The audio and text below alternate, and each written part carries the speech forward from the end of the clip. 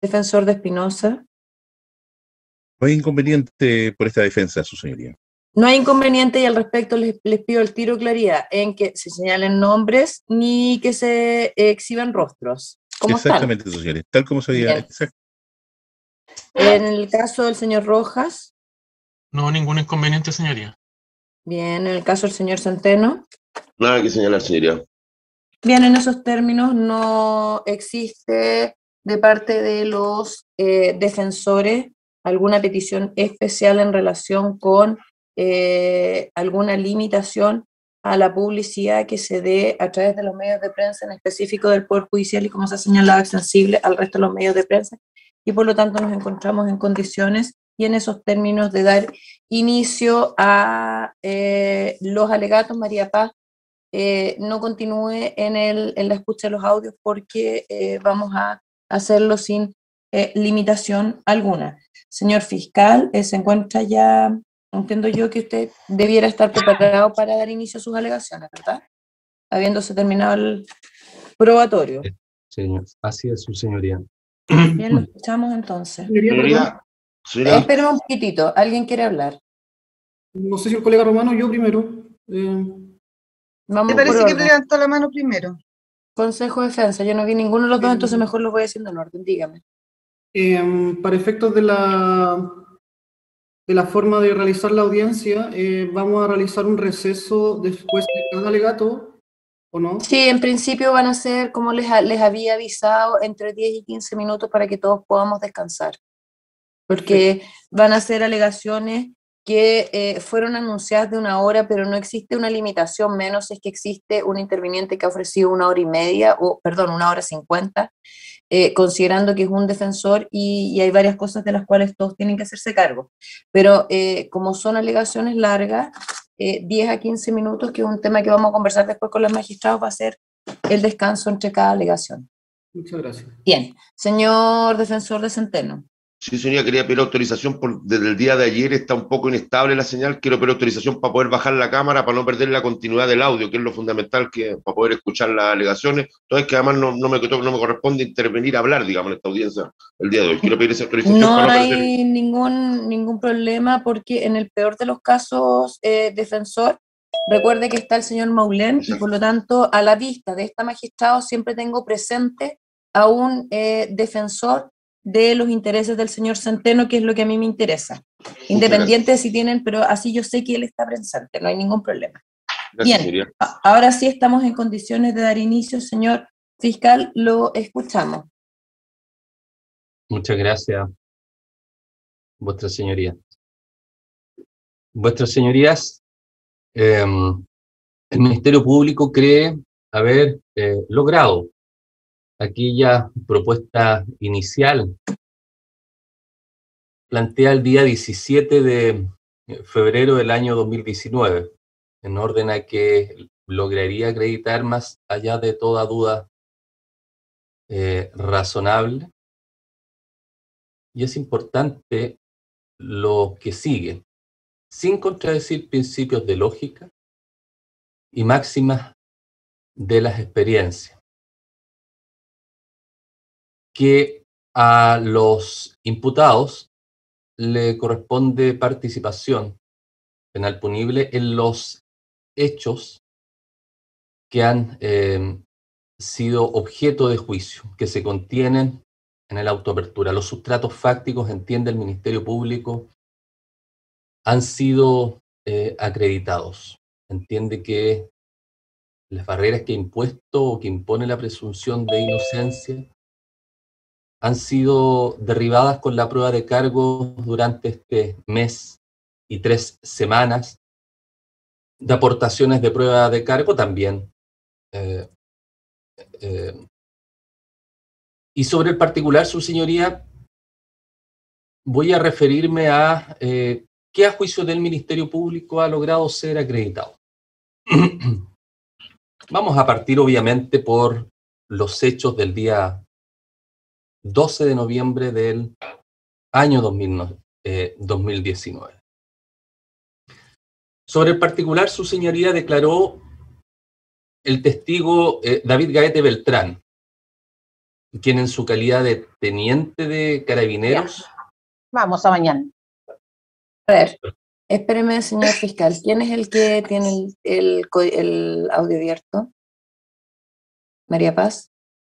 Público 23, magistrada, ya se lo desactivé. Ya, público 23 le voy a señalar por única vez y esto va para todos.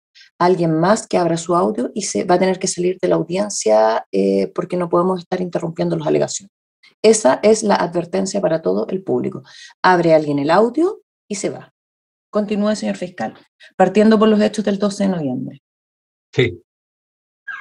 Decía su señoría que respecto de estos hechos del día 12 de noviembre del año 2019, declaró el testigo David Gaete Beltrán. Él, en su calidad de teniente de carabineros, refirió que el día 12 de noviembre de 2019, pasadas las eh, 17 horas, observa una persona que vestía de polera oscura, manga corta, que en su brazo derecho tenía un tatuaje que cubría con una polera celeste, que además vestía short de la marca Díaz, con franjas amarillas, zapatillas negras con blanco en la suela, algunas incrustaciones de colores rojos o rosadas, que mantenía cubierta su cara con una polera, con un yoke de, además, puesto un yoke de color negro en su cabeza. A esa persona, declara el teniente David Gaete, lo ve bajar por unos andamios eh, a la construcción de Universidad de Chile, ubicada entre las calles Ramón Carnicer por el oriente, Vicuña Maquena por el poniente, Arturo Burlé por el sur. En el subsuelo de dicha construcción logra el testigo observar cuando este sujeto descrito enciende un artefacto incendiario del tipo Molotov, lanzándolo a una pila o montículo de materiales al costado de una maquinaria del tipo aplanadora. Para luego observar cómo arroja un líquido acelerante a una maquinaria del tipo tractor, montacarga y enciende de esta forma dicha maquinaria, esta última maquinaria. Bueno, en coherencia con eh, esta parte de la eh, declaración del testimonio de David Gaete Beltrán, declaró el testigo Johan Núñez González, quien en su calidad de trabajador de la empresa constructora ferrovial y encargado de su relación con el medio y la comunidad, declara que eh, el día 12 de noviembre del 2019, eh, del 2019 luego que las faenas eh, no duraron ese día más de las 14 horas, fundamentalmente, señala él, por las labores que se enfocaban a la limpieza de destrozos de los días anteriores, de la vandalización, del perímetro de esta construcción que se usaba como que se usaba para efectos de eh, realizar barricadas, en fin. Estas labores de limpieza terminan aproximadamente a las 14 horas, señala.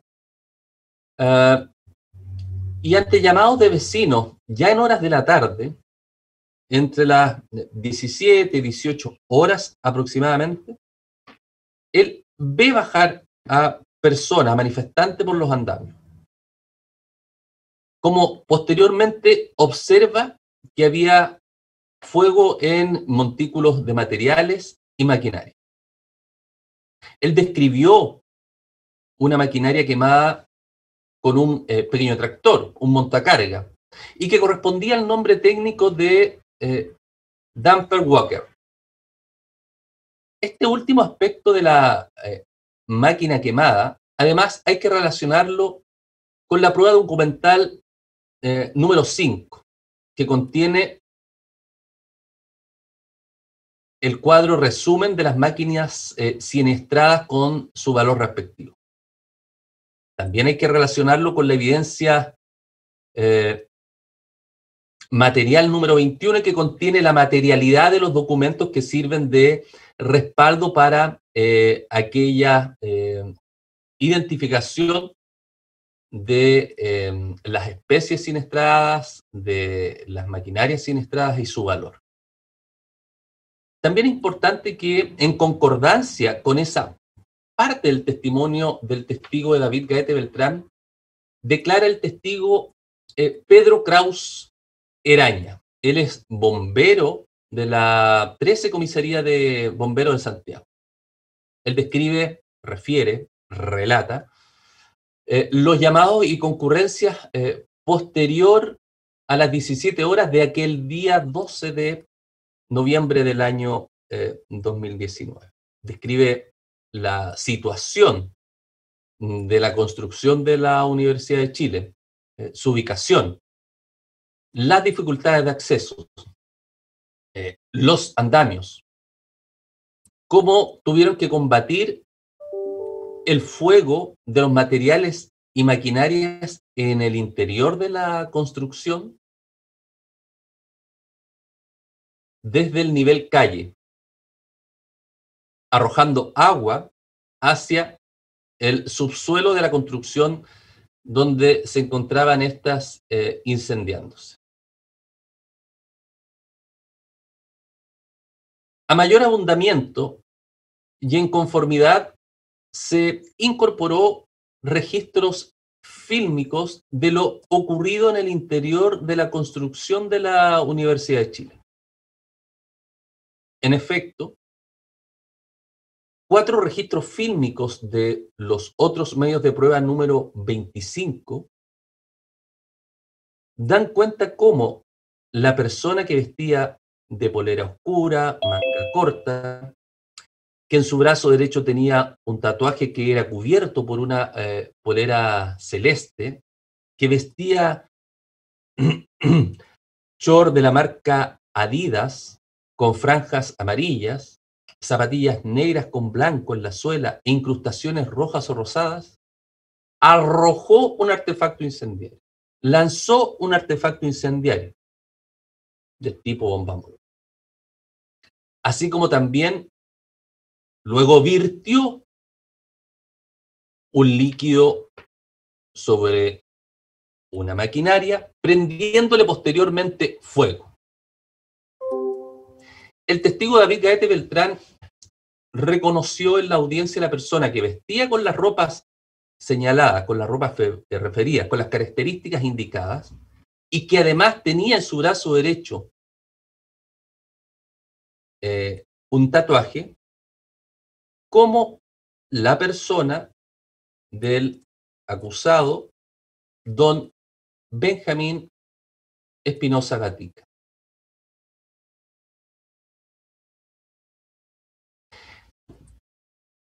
El testigo David Gaete Beltrán declaró también que el día 12 de noviembre de 2019, posterior a los hechos ocurridos en la construcción de la Universidad de Chile, observó a una persona que vestía de polera oscura, manga corta, que en su brazo derecho tenía un tatuaje, el que cubría con una polera celeste, que vestía short de la marca Adidas con franjas amarillas a sus costados, zapatillas negras con blanco en la suela algunas incrustaciones de color rojo o rosado,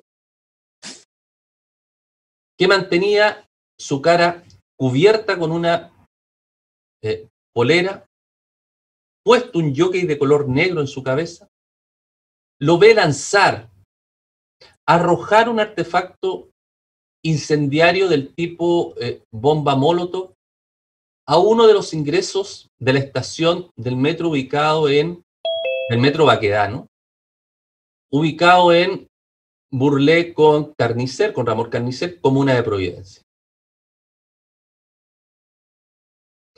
Señala que esta persona se hacía acompañar por otro sujeto que vestía un pantalón burdeos, una polera negra. Señala las características de esta polera negra. que mantenía eh, una mochila, señaló cuáles eran las características de esta mochila y una polera roja en su rostro y zapatillas con eh, una planta de color blanco. ¿Color blanco dijo? No lo escuché.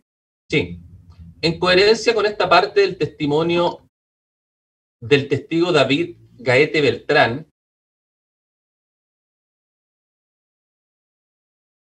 declaró el testigo Juan Borges Calderón. Él en su calidad de sargento de carabineros de Chile, declaró que el día 12 de noviembre, en horas de la tarde, pasadas las 17 horas, él observa a una persona que vestía polera oscura, manga corta, que en su brazo derecho tenía un tatuaje que cubría con una polera celeste, que vestía un short de la marca Adidas, que este short tenía franjas a los costados, unas franjas eran amarillas. Indicó las zapatillas negras, con sus características, con sus colores, que mantenía cubierta su cara con una polera. Describe también un jockey negro que tenía puesta en su cabeza.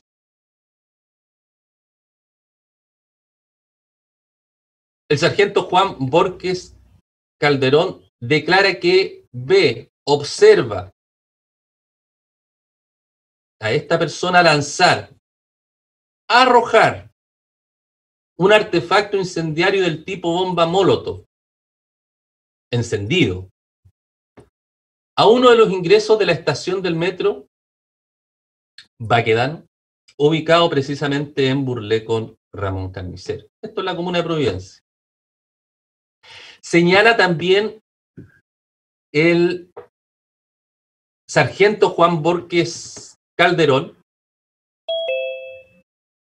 que esta persona que lanzó, que arrojó este artefacto incendiario, se hacía acompañar por otro sujeto que vestía el pantalón burdeos, la ponera negra, que mantenía una mochila en su espalda, la polera roja en su rostro.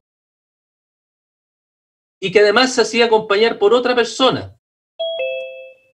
que vestía una polera larga negra, pantalón negro,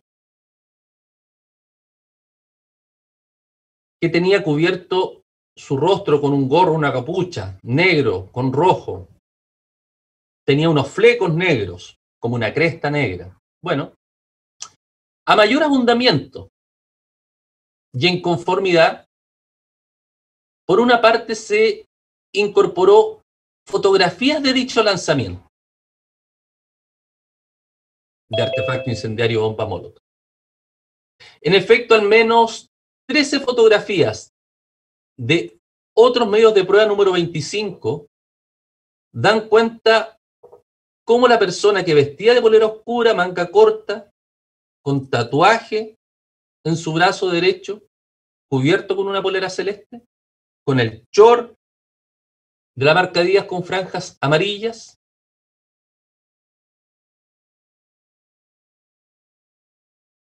y las zapatillas negras con blanco en las suelas, las incrustaciones rojas o rosadas, arrojó este artefacto incendiario. Por otra parte, y en el mismo sentido, se incorporó el registro fílmico de dicho lanzamiento. En efecto, un registro fílmico de otros medios de prueba número 26 dan cuenta cómo precisamente la persona que vestía polera oscura, manga corta, en su brazo derecho tenía un tatuaje que cubría con una polera celeste, chora con franja amarilla, zapatillas negras con blanco en la suela, incrustaciones rojas o rosadas.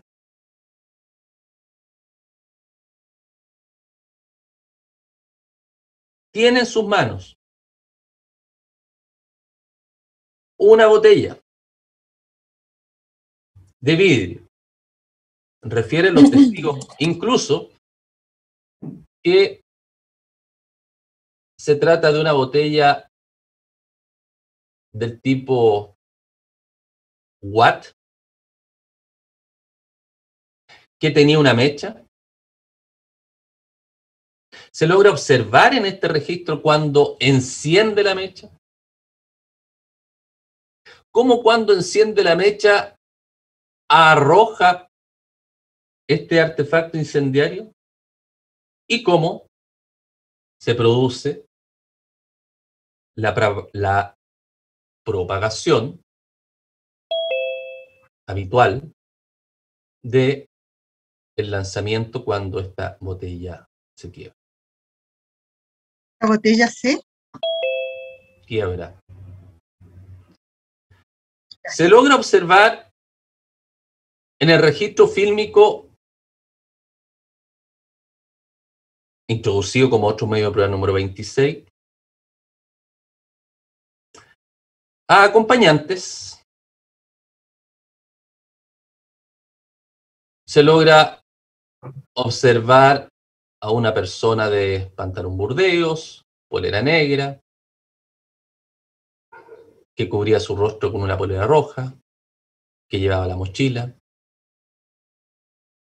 Así como también a quien vestía de pantalón negro, polera negra, manga larga, una mochila gris con negro, esta cara cubierta con un rostro de color negro con rojo, estos flecos negros en la parte superior, también unas zapatillas negras que calzaba.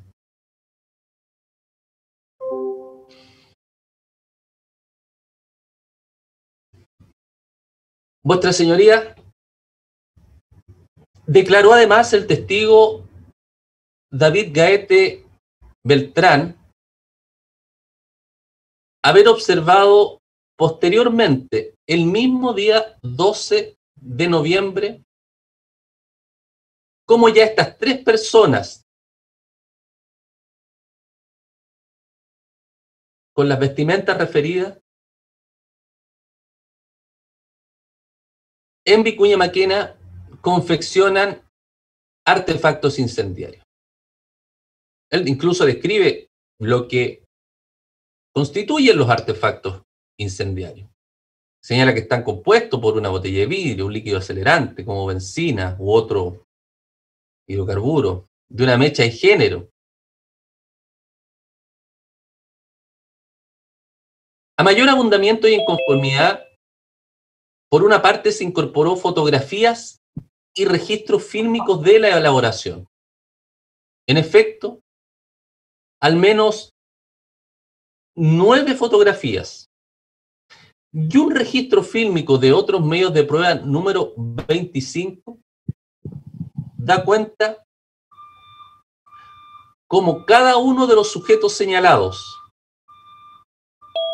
y siempre, siempre con un bidón de color azul que es manipulado en reiteradas ocasiones, realizan acciones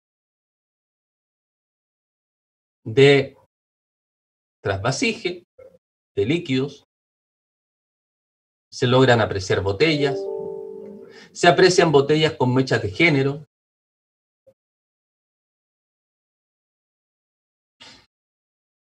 El testigo David Gaete Beltrán reconoció en audiencia a la persona quien vestía con pantalón burdeo, polera negra, que cubría su rostro con una polera roja y llevaba consigo una mochila, eh, como la persona del imputado Matías Rojas Marán.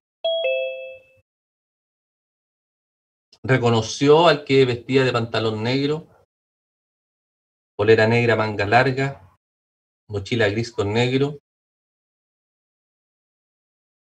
y cara cubierta con un rostro de color negro con rojo, con unos flecos negros en la parte superior, como la persona de Jesús Centeno Guíñez.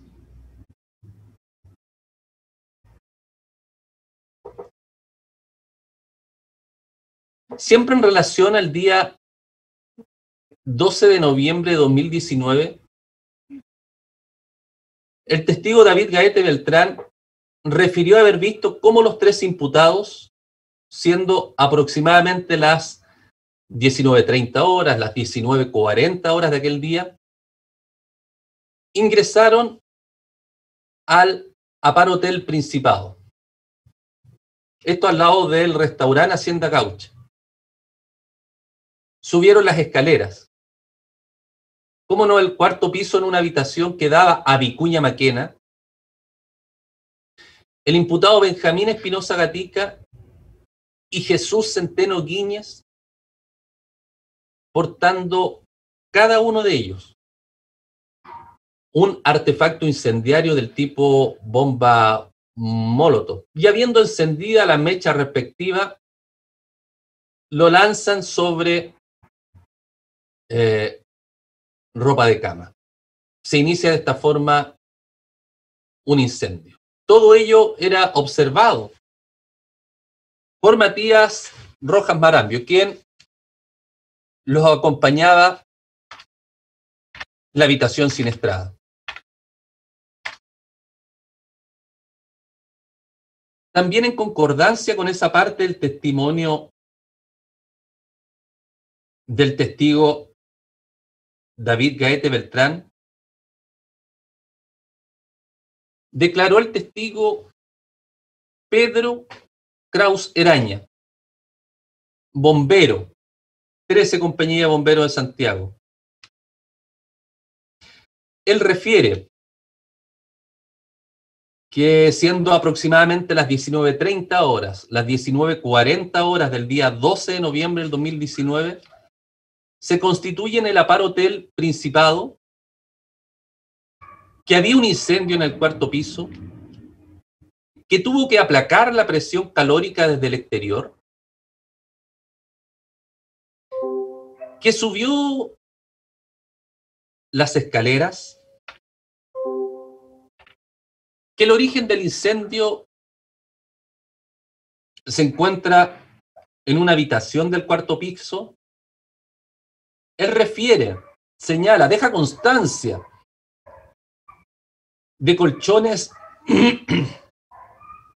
apilados, quemados. Él descarta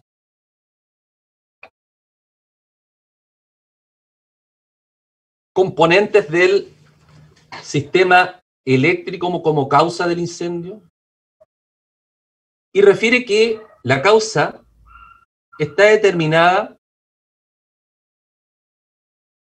con eh, la conducción de calor desde un elemento portador de fuego puesto en contacto con los elementos combustibles.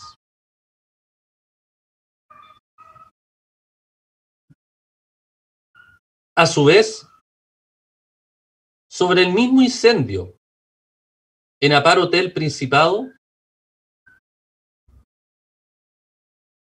declara el perito del Departamento de Investigación de Incendios, Claudio Vaca Saavedra, quien es coherente con lo afirmado por el bombero Pedro Kraus Iraña.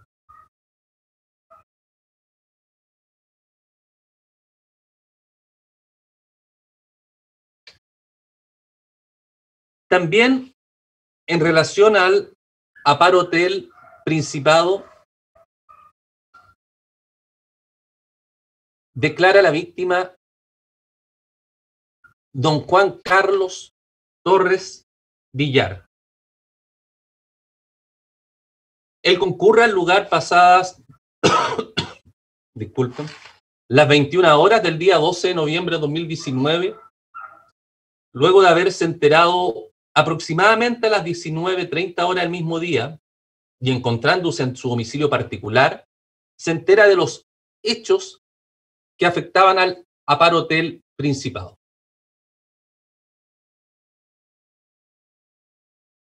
declara que en el cuarto piso habían dos habitaciones sin estradas, quemadas, pasillo, en el mismo sentido.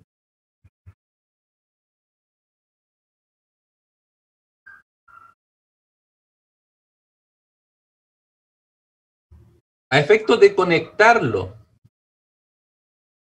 con su calidad de víctima, se incorporó previa lectura documentos 1 y 2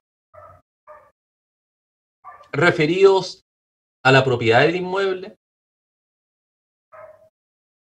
documentos 3 y 4 relativos a los daños y avalúo de los mismos.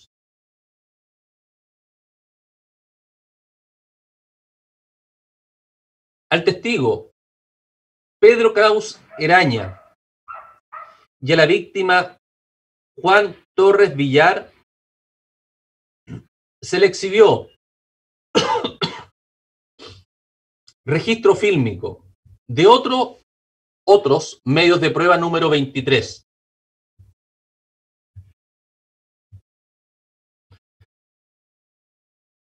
Pedro Kraus, Juan Torres refirieron observar en el cuarto piso, en una habitación con orientación a Vicuña Maquena, signos, rastros de haber existido fuego e incendio. Los ventanales se notaban quemados, oscurecidos, color negro.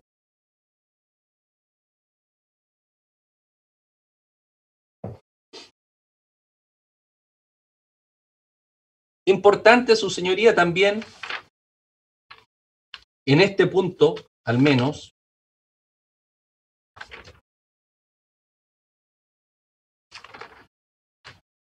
es hacer referencia a la declaración del testigo, perdón, del perito Larraín Garrido.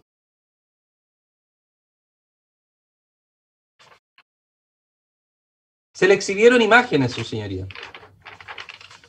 Se le exhibieron registros fílmicos. Otro medio de prueba número 7.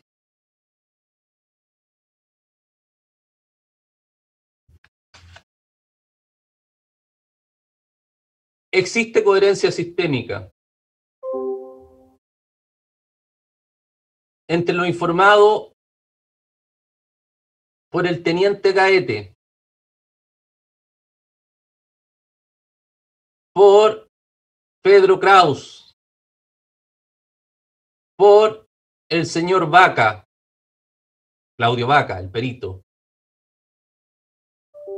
se logran observar en fotografías exhibidas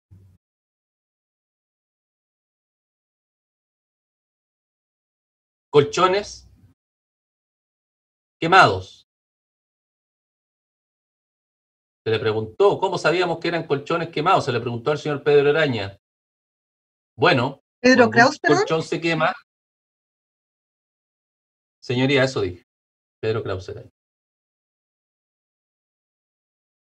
De cómo quedaban los colchones cuando estaban quemados. Y él hizo una referencia. Una referencia a los elementos interiores de un colchón quemado. Bueno, ahí estaban, en esas fotografías incorporadas, en los otros medios de prueba, número 7,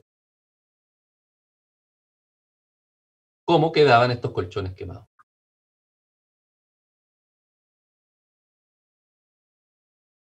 Pedro Kraus no conocía al teniente Gaete, lo señaló, no tengo idea quién es, y no tenía por qué conocer al señor perito Larraín, que fue posteriormente a obtener esas fotografías. Y en esa parte son absolutamente coherentes, así como también en el lugar de ocurrencia de los hechos. Me ¿Lugar refiero- qué, perdón? No le escuché nada la última parte. lugar de lugar ocurrencia de los hechos en el cuarto piso. Continuemos, su señoría, con... Un momento, por favor.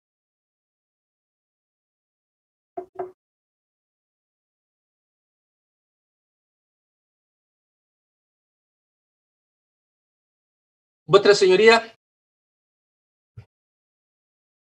el testigo David Gaete Beltrán declaró que una vez que salieron los imputados del Apar Hotel Principado, siguió a los tres por diversas arterias, por calles aledañas al lugar de los hechos. Pierde de vista Benjamín Espinosa Gatica, pierde de vista Matías Rojas Marambio, no pierde de vista a Jesús Centeno Guiñez. Lo sigue.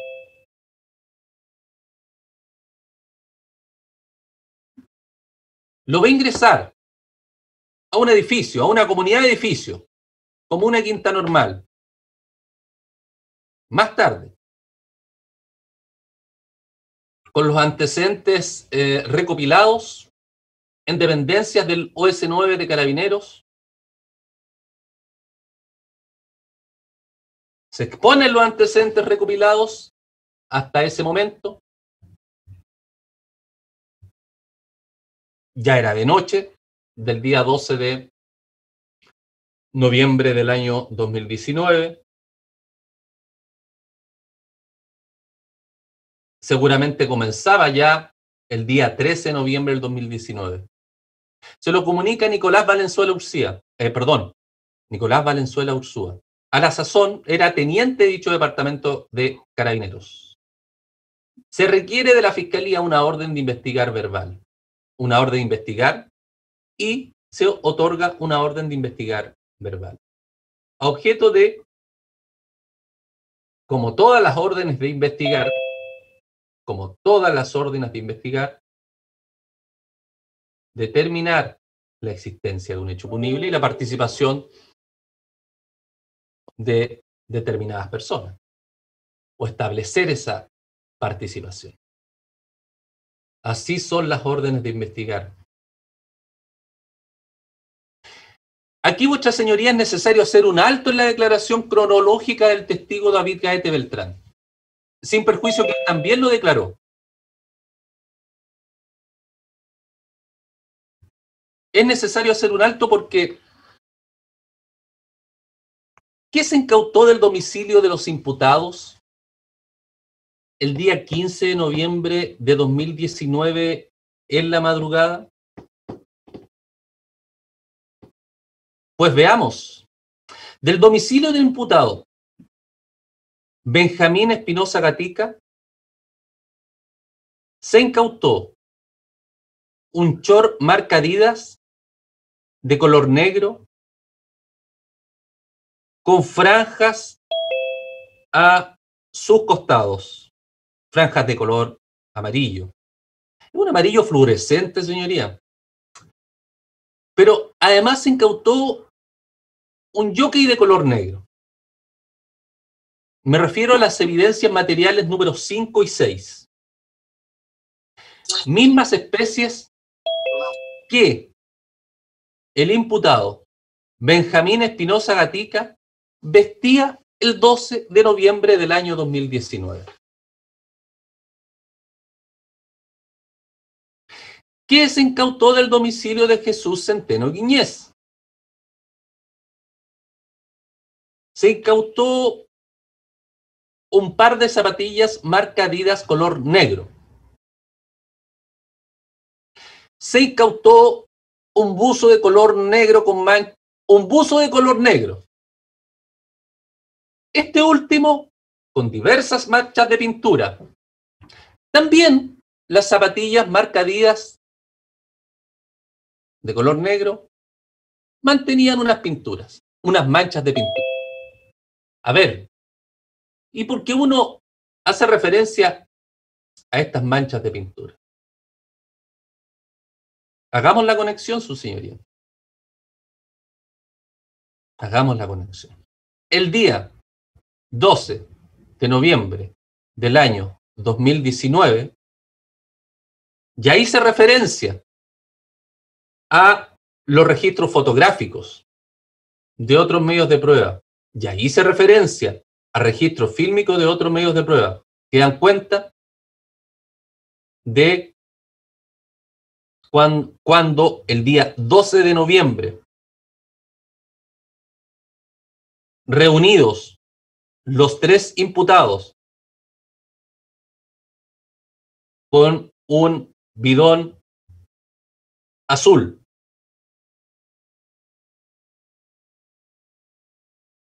Y ahí dio cuenta el señor Gaete en su testimonio que el buzo, el pantalón de color negro, hizo mención a propósito de estos medios de prueba, donde se observaban estas manchas de pintura. Bueno, ¿qué se incauta el domicilio? El mismo pantalón negro con las manchas de pintura.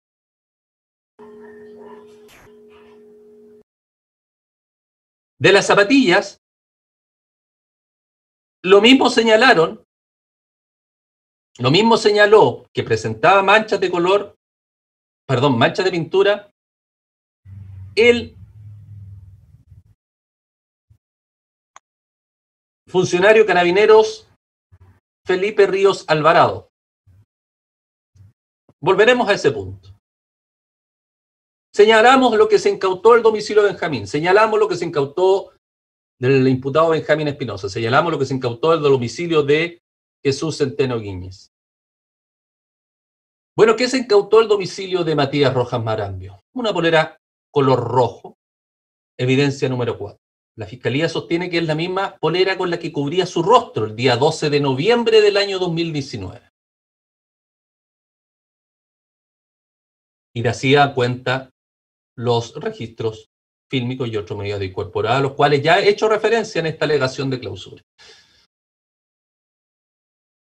De esas especies incautadas, declararon en juicio los testigos, funcionarios de carabineros de Chile, Don, Rolando Barrientos Álvarez, Felipe Ríos Alvarados, Rodrigo Molina Trujillo, al igual, claro está, que el propio, del propio testigo David Gaete Beltrán, a quienes le fueron exhibidas estas especies, al igual que los otros medios de prueba números 12, 13 y 14, que contienen el registro fotográfico de dichas incautaciones, ¿en dónde? En los domicilios de los acusados.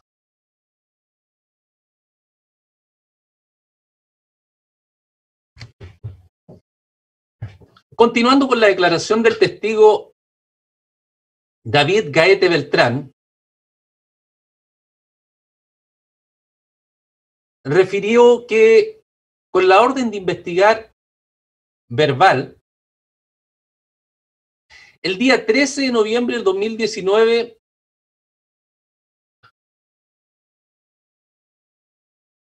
aproximadamente a mediodía, a las 12, ve salir el imputado Jesús Centeno Guiñez de su condominio de su edificio. El imputado Jesús Centeno Guiñez se dirige a un servicentro COPEC.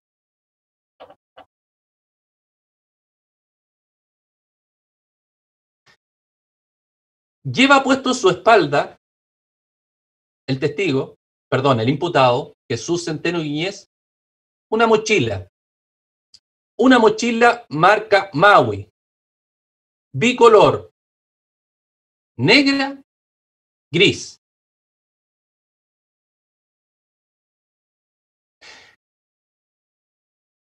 Observa el teniente Gaete cómo en un servicentro COPEC cercano a su domicilio, señaló la dirección, el imputado se coloca al lado de un surtidor de benzina, abre su mochila,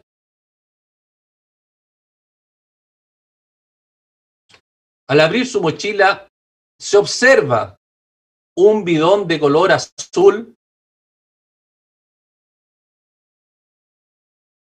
y carga lo que se carga en todo servicentro, al lado de un surtidor de benzina. Se carga benzina. Y esto que parece tan de perogrullo, hay que recalcarlo, su señoría. porque ya hicimos mención a las lógicas y las máximas de las experiencias.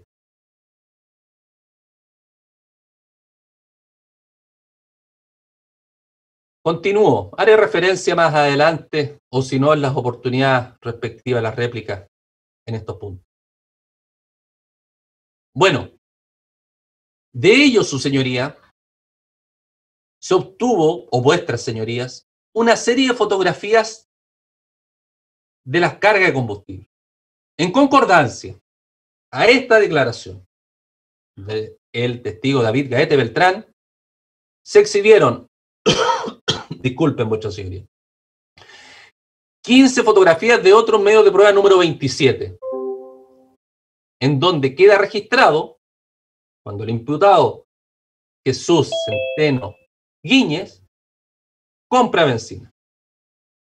Al igual la exhibición de cuatro fotografías de otro medio de prueba número 9.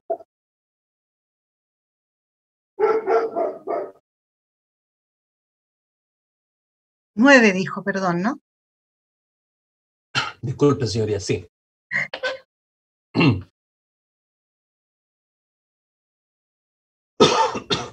Vamos a los hechos del día 14 de noviembre del 2021. en un resumen de lo que, a juicio del Ministerio Público, con abundante prueba, se ha logrado Perdón. acreditar. 14 de noviembre de 2019, ¿será? Exacto, su señoría. Me equivoqué. Bueno.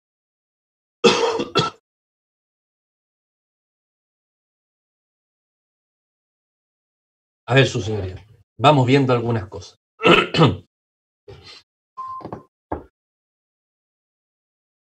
El día 12, el día 14 de noviembre del 2019, había experiencia adquirida, ganada, por parte de los señores eh, acusados.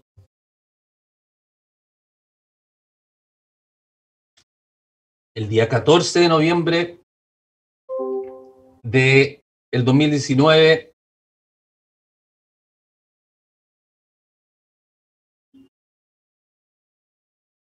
como soldados prestos a entrar al campo de batalla,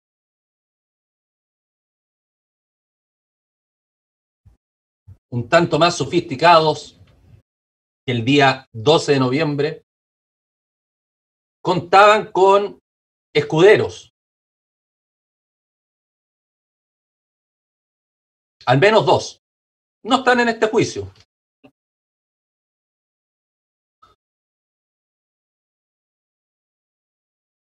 Y además, su señoría, además de haber adquirido experiencia,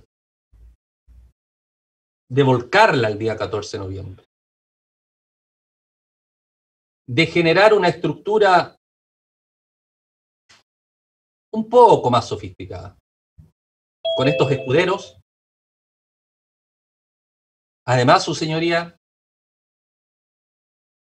en algún momento de este 14 de noviembre del 2019, Pero ¿quién es este gallo? Me gustaría saber. incluso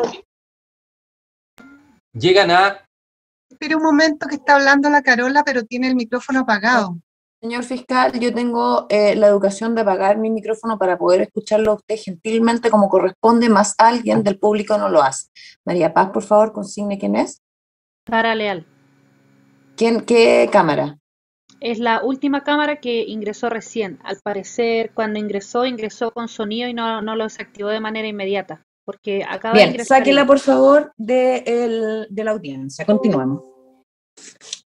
Ya, ya se le señaló a todos y si es que alguien ingresa, yo entiendo que viene señalado y viene ya advertido que debe mantener su audio cerrado. No se va a aguantar en esta oportunidad, son los alegatos finales que requieren la concentración de quienes están hablando. Señor fiscal, continúe y disculpe. Sí, no, no, no se preocupe usted, señoría. Bueno, ya, está bien. Yo no voy a repetir lo que ya señalé, pero además solamente quería agregar algo, ¿ah? Porque además de, haber adquirido experiencia, además de contar con escuderos, en algún momento de ese día 14 de noviembre, incluso llegaron a creerse los señores imputados una especie de rockstar. Voy a, voy a, y voy a, y voy a fundamentar argumentativamente, claro, el por qué lo sostengo. Más adelante, sin duda. Vuestras señorías, declaró el testigo don David Gaete Beltrán como aproximadamente también 5 de la tarde ve a los tres acusados. Ve a Benjamín. Espinosa Gatica. Mucha señoría Benjamín aquel día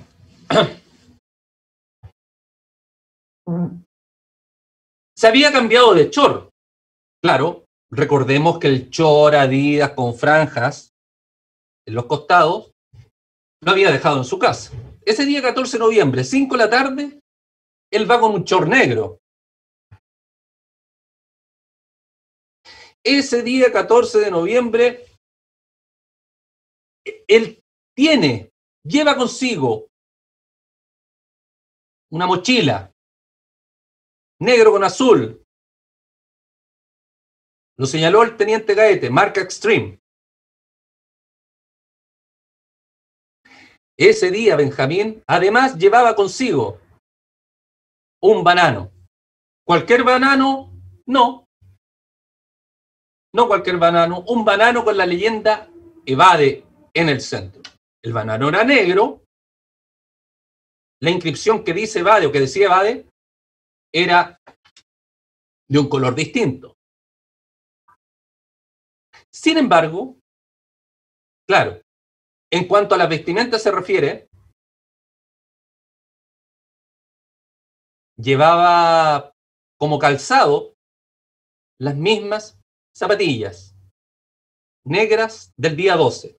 Zapatillas negras, blancas, incrustaciones rojas, rosadas.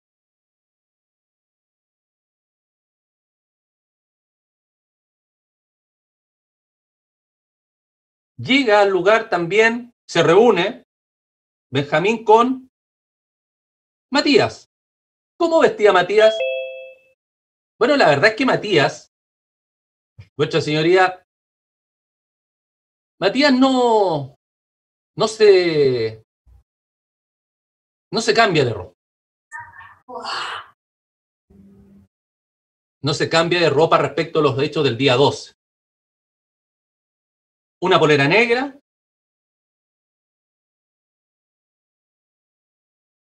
presenta, y lo señaló el testigo Gaete,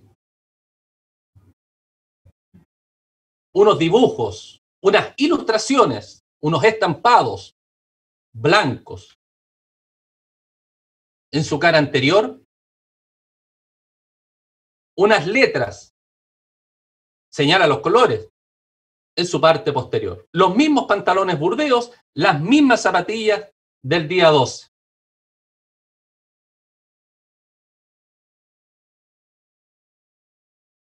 Se cubría el rostro, ¿ah? Este 14 también.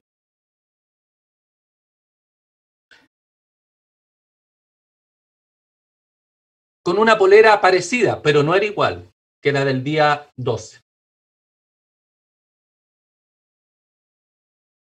Esta polera tenía una inscripción blanca con la que se cubría el rostro. Una inscripción blanca en la parte delante. Bueno, y Jesús, ¿cómo vestía ese día? Jesús, el día 14. ¿Cómo lo ve el teniente Gaete? Lo indica en su declaración. También vestía de un pantalón negro, se había cambiado los calzados,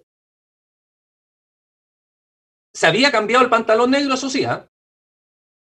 el pantalón negro era otro, porque el que usó el día 12 de noviembre lo había dejado en la casa.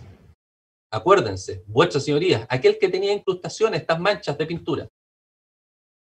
Las zapatillas también las había cambiado, el calzado, negro. También tenían algunas incrustaciones, eh, algunas manchas de pintura. ¿Dónde estaba? En su domicilio. Pero el día 14 se cambió de pantalón negro por uno del mismo color y además el calzado. Era un calzado un poco más robusto, de color café.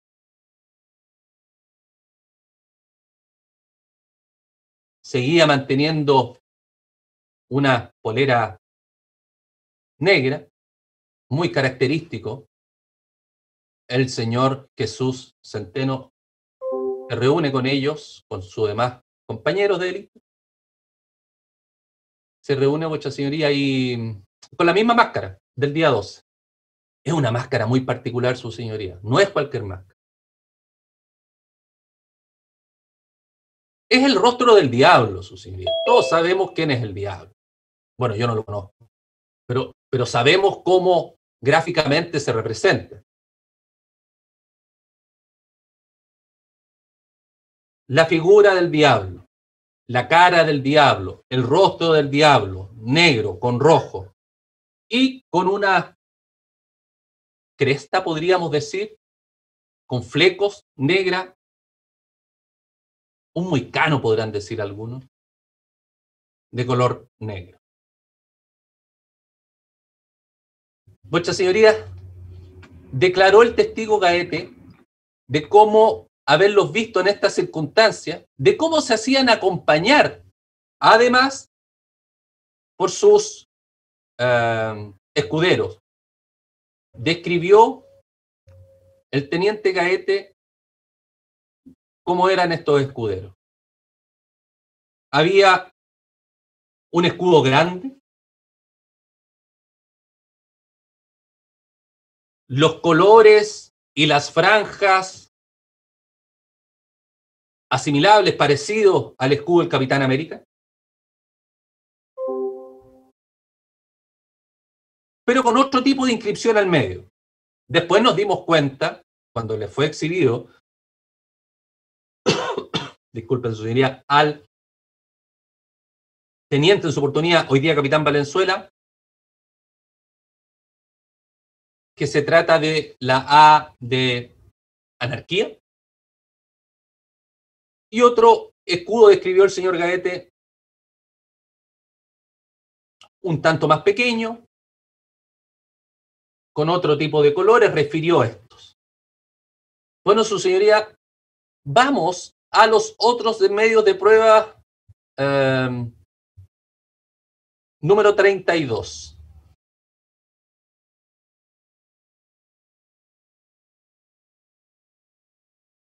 que es aquello que se logra observar en los otros medios de prueba número 32. Al menos dos imágenes. Y aquí lo conecto con, con, con lo que debemos acreditar, ¿no es cierto?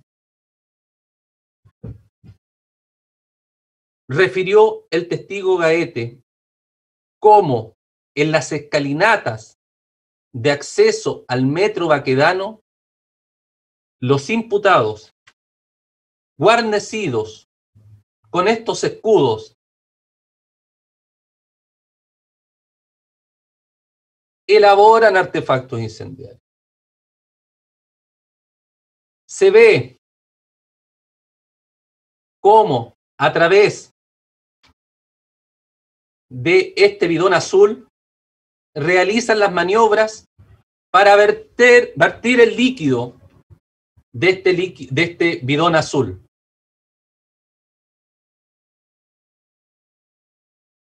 En botellas de vidrio.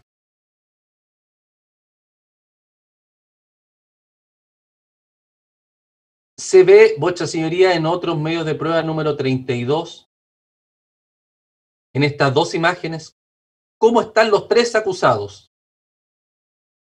Benjamín con las vestimentas descritas,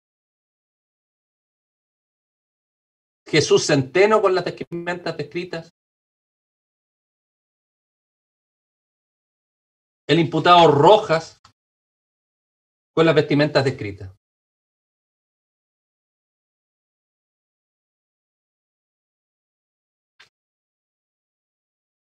Se observa en registro fílmico número 31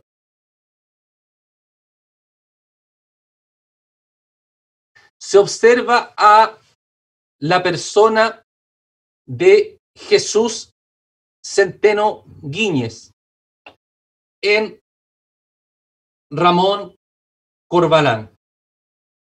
¿Qué está haciendo en Ramón Corbalán, su señoría? Ramón Corbalán, con Alameda. Ya todos nos ubicamos después de muchos días de juicio, ¿no?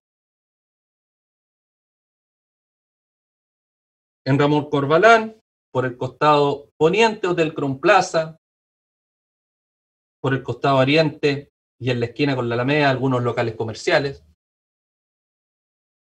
Refirió por lo demás aquello el teniente Gaete.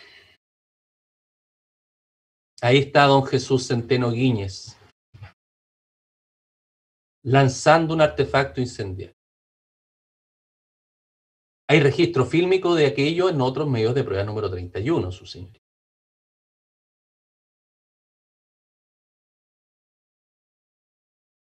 Lo declaró también el señor Gaete. La elaboración de artefactos incendiarios de los imputados se encuentra acreditado, su señoría, de este día 14. De la elaboración de los artefactos incendiarios que refiere el señor Gaete, el testigo Gaete, existen las fotografías de otros medios de prueba número 32. Existe el registro fílmico número 30 que se contiene en otros medios de prueba número 31.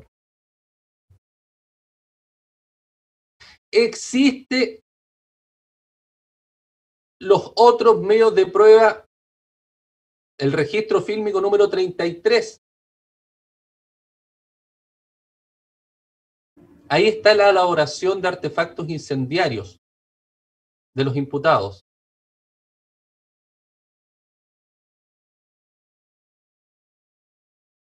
Vuestra señoría, declaró el testigo Gaete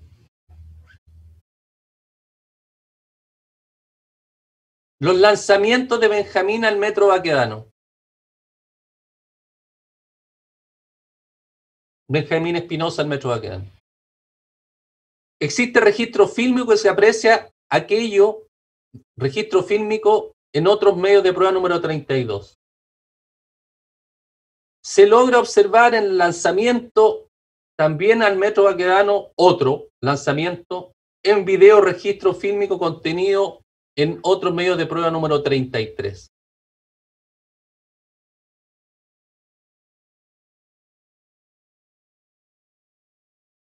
Vuestra señoría,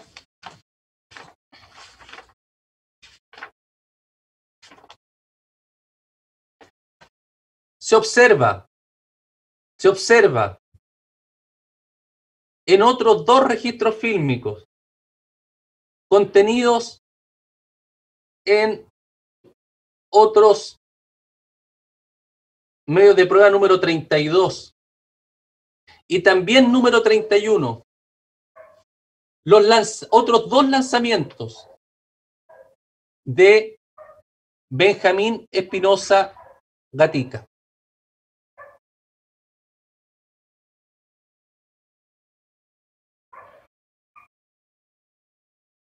Uno en Vicuña Maquena con Carabineros de Chile. Otro, ya era más tarde, ¿ah? podríamos decir que estaba oscureciendo. Es el último de don Benjamín Espinosa Gatica. En Ramón Corbalán con Alameda. También en registro fílmico número 32.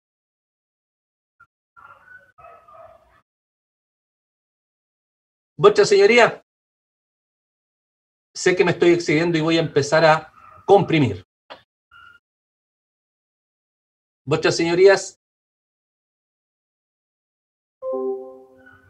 el otro medio de prueba, a mayor abundamiento, y esto, insisto, a mayor abundamiento. Otro medio de prueba número 33 contiene una serie de fotografías y contienen una serie de registros fílmicos exhibidos y respecto a los cuales declaró tanto el teniente Gaete, así como también, así como también la persona, el origen de dichos registros fílmicos. Me refiero a don Felipe Miranda Aceitún. ¿De qué, ¿De qué dan cuenta esto a mayor abundamiento, su señoría? Se los sigue por dron ese día 14 de noviembre. Por Alameda, por Vicuña Maquena. Se logra apreciar, vuestras señorías, cómo los tres acusados elaboran artefactos incendiarios. Se logra ver cómo los tres acusados portan, llevan consigo, luego de la elaboración, diferentes artefactos incendiarios del tipo Molotov. Se logra apreciar cómo estos contienen mechas. ¿Y por qué en su oportunidad dije que ya estaban convertidos los señores acusados en unos rockstar? Recordemos el registro fílmico. Su señoría, que se contiene en estos otros medios de prueba número 33. ¿Qué se logra apreciar, su señoría? Se logra apreciar a los imputados junto a sus escuderos en una fotografía, todos abrazados. Una fotografía marca eh, del tipo Polaroid, instantánea. Y ahí están ellos, haciendo gala de su rol. Esa fotografía que se ve en el registro fílmico fue encontrada en la mochila de uno de los acusados. Bueno, y aquí termino, su señor. Declararon los testigos Michel Cerda Aguilera, Armina Araneda López, Maximiliano Salas Iravaca, José Fernando Cancino León, Esteban Mora Quirós, Christopher Santander Olea.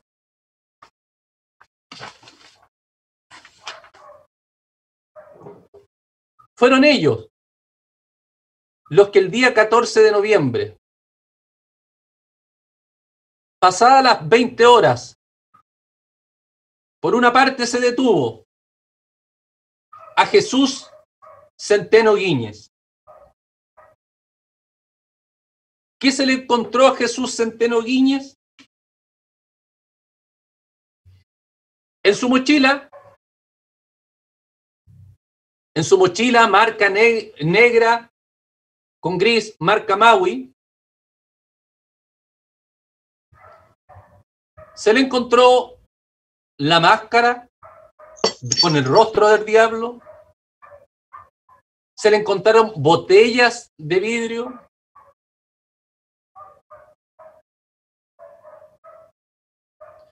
se le encontró e incautó obviamente sus vestimentas,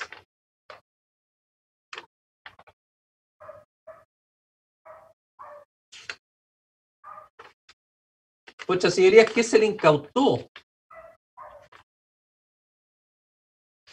al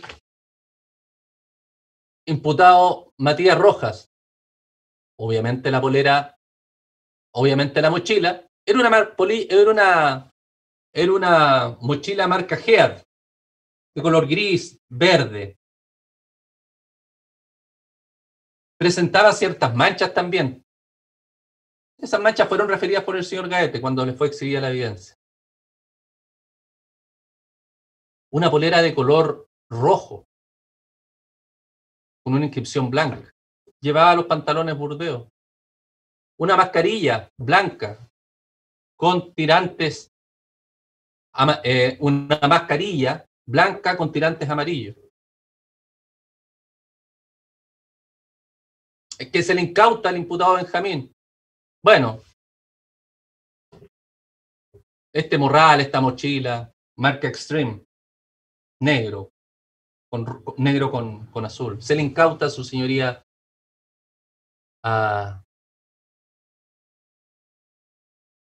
el banano con la leyenda de. Dos anillos, importantes los anillos. Se le incauta también y quizás lo más importante, ¿ah? bueno, todo es importante, pero esto los vincula a todos. Un bidón de color azul. Mismas características del bidón del día 12, mismas características del bidón del día 13. El día 12, ¿quién se llevó el bidón? Jesús Centeno, lo declaró Gaete por lo demás. ¿A quién ven el día 13 cargando benzina? A Jesús Yetro. ¿Quién se lleva el vino del día 14? Benjamín.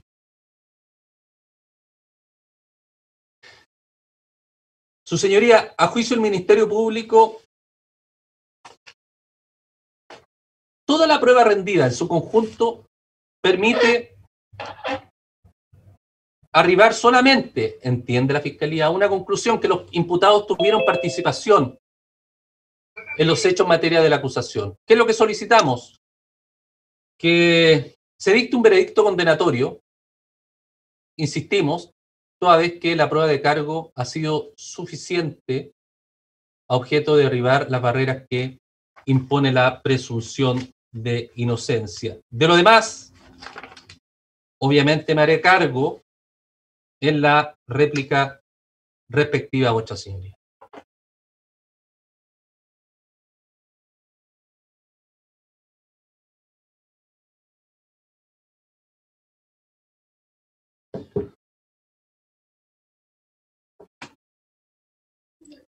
Está sin audio. ¿Se me escucha? ¿Se me escucha? o Bien, estaba hablando son, ahora sí, son las 10 con 30 minutos, Blanca. Eh, Catrina, ¿les parece que hagamos un eh, receso de 15 minutos? Fue eh, una alegación de sobre una hora, de una hora y, y siete minutos prácticamente. Entonces, ¿les parece, salvo que ustedes entiendan un tiempo menor, eh, propongo volver a las 11, cuare- a las 10.45? Ujú, ujú, ujú. Sí, sí, eh, Blanca, sí, Catrina, Sí, yo no tengo problema. sí. Sí. El audio. Magistra Rojas. Rojas. Blanca, no te escucho nada, pero si me hacís por último con un dedo, Que yo me te apagó el micrófono, pero estoy de acuerdo, sí. Bien, eh, en estos 15 minutos, eh, María Paz, por favor, le voy a reiterar eh, le voy a solicitar que reitere a todo el público que no pueden abrir sus audios, entre medio alguien más abrió su audio, eh, fue un poquito eh, de, menor volumen, pero yo los voy a ir sacando porque no pueden interrumpir los alegatos finales. Vamos al receso entonces de 15 minutos. Listo, Muy magistrada.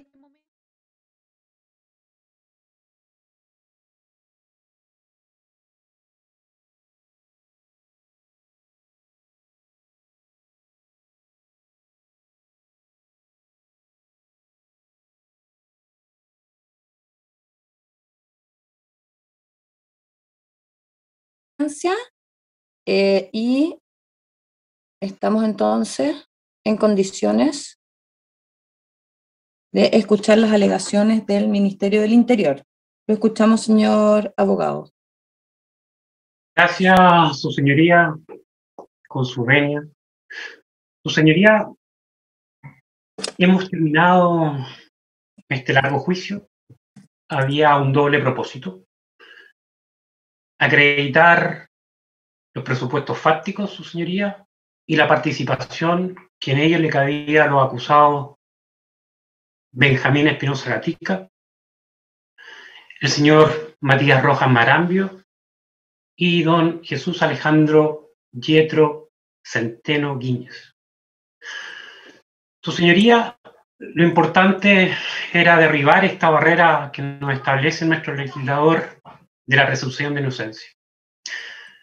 Su señoría, los acusados fueron detenidos el día 14 de noviembre en flagrancia, mientras paralelamente eran investigados por delitos cometidos el día 12 de noviembre.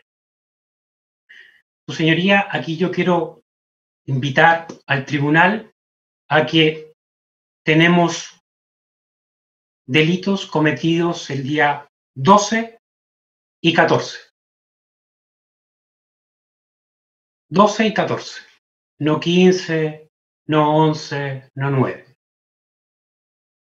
Porque en muchos registros y en declaraciones usted podrá ver y estar clara, su señoría, qué días son cada uno por cómo visten los acusados.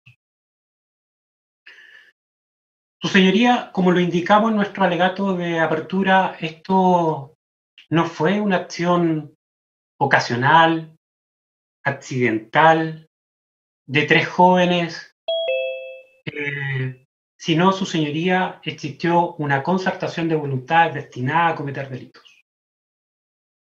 Eso es lo que al menos creo que quedó probado en la secuencia de este juicio.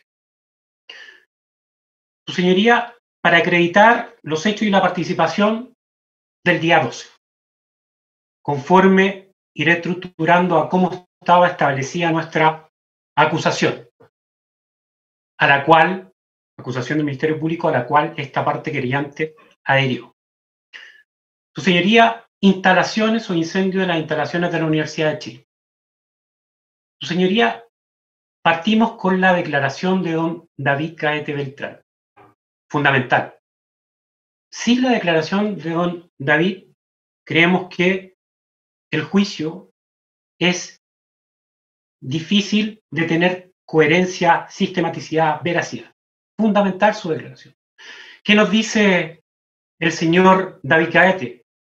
Que el día 12 de noviembre, aproximadamente a las 5 de la tarde, él estaba en Parque Bustamante, indica por qué, a qué obedecía y que había grave alteración del orden público dice que se traslada a Arturo Burlé con Ramón Canicer, donde se estaban produciendo hechos delictivos. Nos dice que él fija su mirada ante personas que están haciendo una barricada incendiaria y puntualmente fija la vista en una persona. Y lo describe, dice una persona, jockey de color negro, embosaba su rostro con una polera de color rojo, vestía una polera de color negro, un morral, tenía un short con franjas verticales amarillas tipo Adidas. Y por último, bueno, usaba un zapato deportivo y por último tenía una polera su antebrazo derecho que tapaba un tatuaje de grandes dimensiones. Se identificó posteriormente como el señor Benjamín Espinosa Gatica. Su señoría dice que al observar esta barricada incendiaria, eh, él ingresa a una faena de construcción de la Universidad de Chile que está ubicada en ese lugar y dice que él lo sigue a corta distancia, ingresa por un andamio, a través de, a través de una escalera por medio de un andamio, donde se llegaba a las construcciones que estaban en el subterráneo, describe cuáles son, y dice que en su mano, en una de sus manos llevaba una bomba molotov y en su bolsillo llevaba un recipiente, llama una botella de Gatorade, con un líquido. Su señoría dice, explica acerca del lanzamiento del artefacto incendiario, incendiario y también explica y pudimos ver o constatar cómo se puede eh, Eh, o se señor abogado, no se le escucha del todo bien. Al menos yo, por lo menos, siento que hay como una interferencia en su declaración. No sé si a, a los otros inter- intervinientes escuchan lo mismo que yo, pero a mí como que se me bajó un poco el audio. ¿Puedo ser yo o alguien más? eh, Yo no tengo tiene- problema. yo sentía su No. que no era Bien. que podía venir de ¿Se otro escucha bien? Pero no el mío. Espéreme, por favor, un, le voy a solicitar un segundo, voy a buscar un... No, no lo tengo a mano. Quería buscar un audífono. Bueno, disculpe. ¿eh? Ya, continuemos. Su señoría indicó en su relato, eh, describe las conductas, describe el lanzamiento, describe cómo rocía con esta botella Gatorade eh, un, una retro, una máquina retro, le, indica a él, le enciende fuego y luego se va. Pudimos ver su señoría, además de la declaración, su señoría se incorporaron video y fotografías eh, bajo otros medios de prueba 25. Cuatro videos, como se han referido, una fotografía, su señoría, en la cual usted podrá observar las características de la persona que participa. ¿Cómo era? Nuevamente, un jogging negro, un short oscuro, marcadillas, franjas fluorescentes, un una polera celeste o azul que cubría el tatuaje.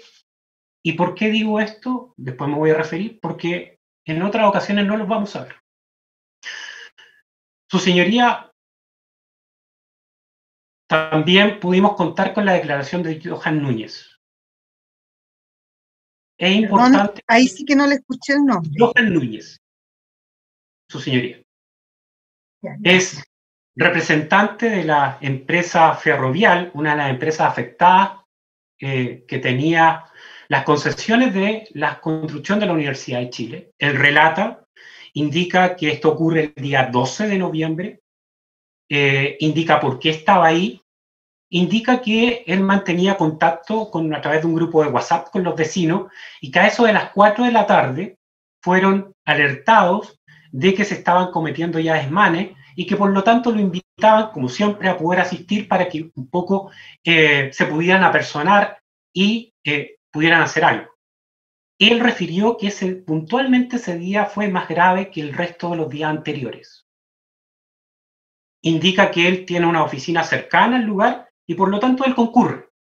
Concurre su señoría y llega y observa cuando gente utilizaba una escala y bajaban hacia un andamio. ¿Por qué es importante?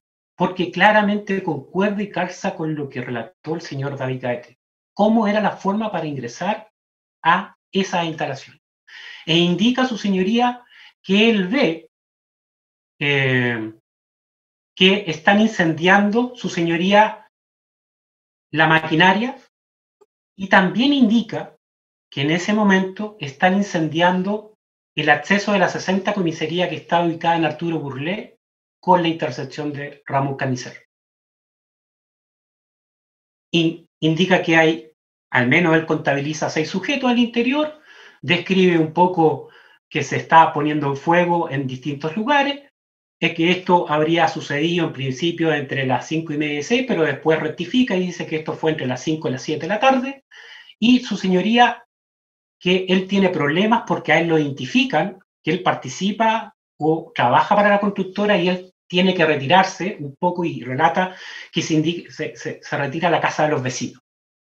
Eh, no obstante, él estaba en el lugar y dentro de lo que él vio, vio siniestrada a su señoría y denomina un damper, que es una máquina, eh, su señoría, que es un mini tractor, dice que era un subcontratista que, que- terminó quebrando producto de este incendio.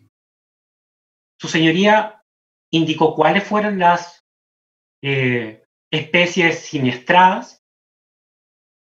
Tuvimos, su señoría, además fotografía incorporada bajo otros medios de prueba 29 de cómo quedó la obra.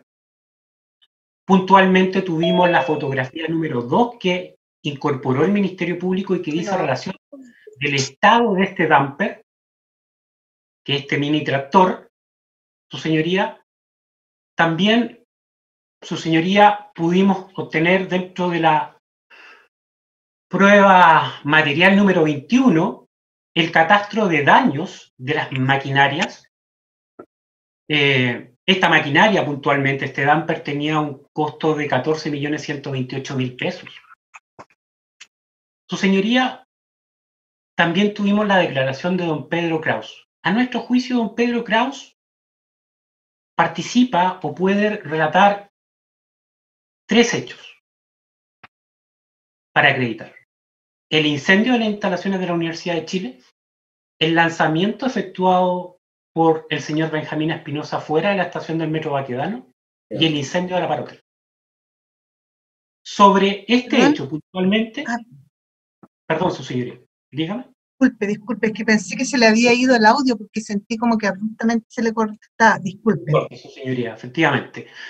Respecto al incendio de las instalaciones de la Universidad de Chile, refiere que ellos reciben un llamado, que ellos llegan a las instalaciones de la Universidad de Chile, describe dónde están, di- indica que él concurre con un carro bomba, más nueve bomberos, indica que esto fue a las seis de la tarde, indica que esta era unas instalaciones eh, bajo nivel, indica que eran unos cuatro o cinco pisos, que ellos estuvieron hasta las siete y media, que ellos decidieron no bajar a la instalación y por lo tanto tuvieron que combatir el fuego desde altura.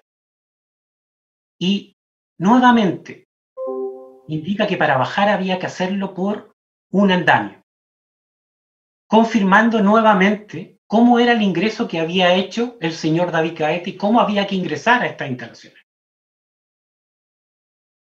Él decide no ingresar, obviamente, porque le pareció peligroso y por lo tanto todo el trabajo se hizo desde altura. Dice que él, al momento de llegar, ya siendo las seis de la tarde, él no ve a ninguna persona abajo. No obstante, él también relata, y importante, que dice que ve maquinaria y material quemándose. Madera, acopios de madera, castillo habla en realidad, y dice que ve maquinaria quemándose, que podría ser un bocat, una especie de retroexcavadora. Y resulta obviamente que nuevamente refuerza lo que pudimos ver, lo que pudimos escuchar respecto al señor David Caete. Su señoría indica el peligro que corría porque había humo que se iba, él indica hacia los edificios Turri que están ubicados en eh, Baquedano y indica que ellos estuvieron hasta las siete y media, mientras tanto se les hacía aviso de que había un incendio cercano al lugar, mientras él recorría el lugar. Su señoría también contamos con la declaración del aperito Carol Sandoval. Su señoría, a nosotros es importante esta declaración porque la deponente, el aperito, indica que ella participa en la inspección de estas obras, ella tenía que inspeccionar otros lugares más eh, y, e indica que no lo pudo hacer producto de no poder tener acceso, pero obtuvo el acceso a estas instalaciones. Toma muestras, ella ve el lugar, ve los daños que habían, refiere que obviamente el lugar no estaba resguardado, pero que no obstante eso, vio, observó, presenció, tomó muestras de las cuales eh, fueron enviadas a los peritos químicos de la OCAR para los efectos de eh, determinar si había presencia o no de hidrocarburos.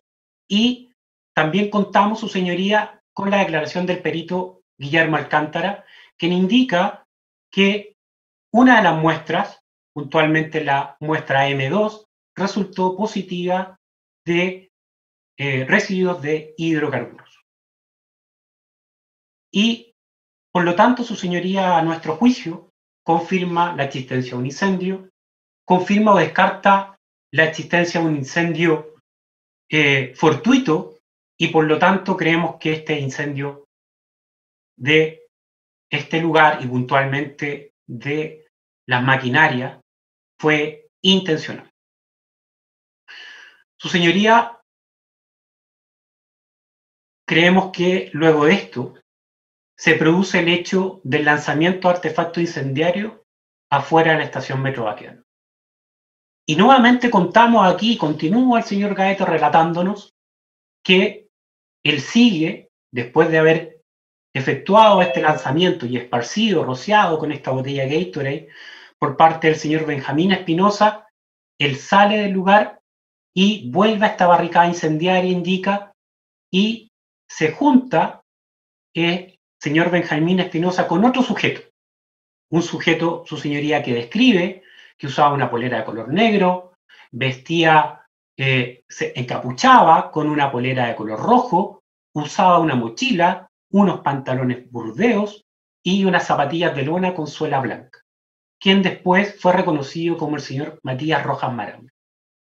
Recordemos, su señoría, que el primer contacto que tiene el señor Gaete es al principio, antes del ingreso, que observaba, él no había tomado contacto con estas personas. Él había fijado su vista en la acción que venía desarrollando o que estaba desarrollando en ese momento, en ese día, el señor Benjamín Espinosa. Pero no obstante, después de la salida, este señor, el señor Espinosa, se encuentra con el señor Rojas Maram. ¿Y qué es lo que sucede?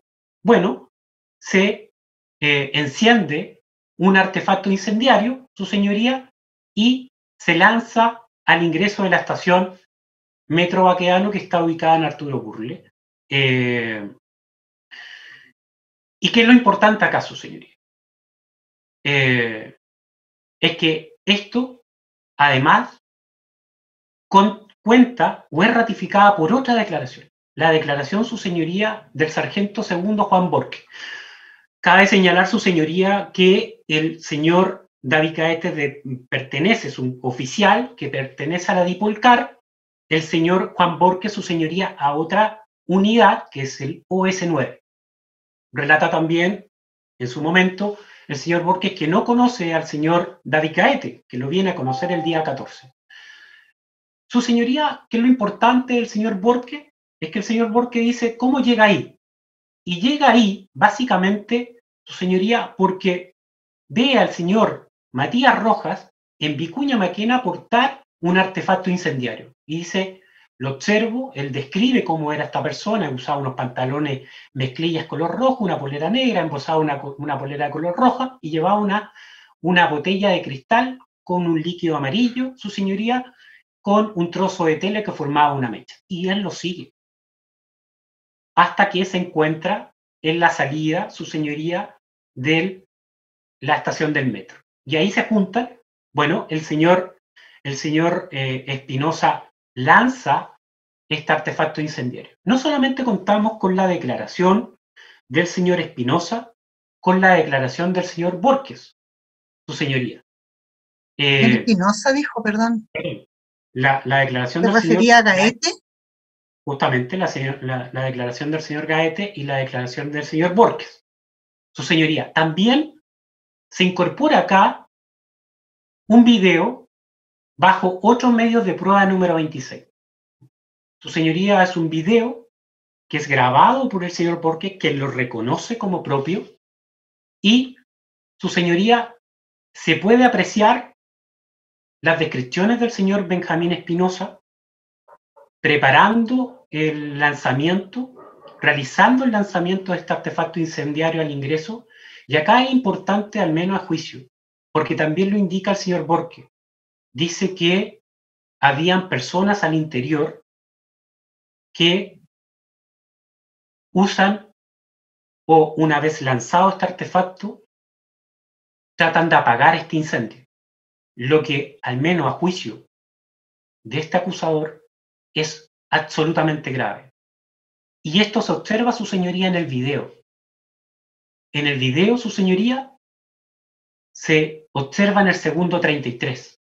Usted podrá observar entre el segundo 30, perdón, del 30 al 37, su señoría, cómo desde dentro de la estación se ve un chorro de agua salir de ahí una vez que el señor Benjamín Espinosa lanza este artefacto incendiario. Absolutamente grave. Su señoría, no solamente contamos con este registro.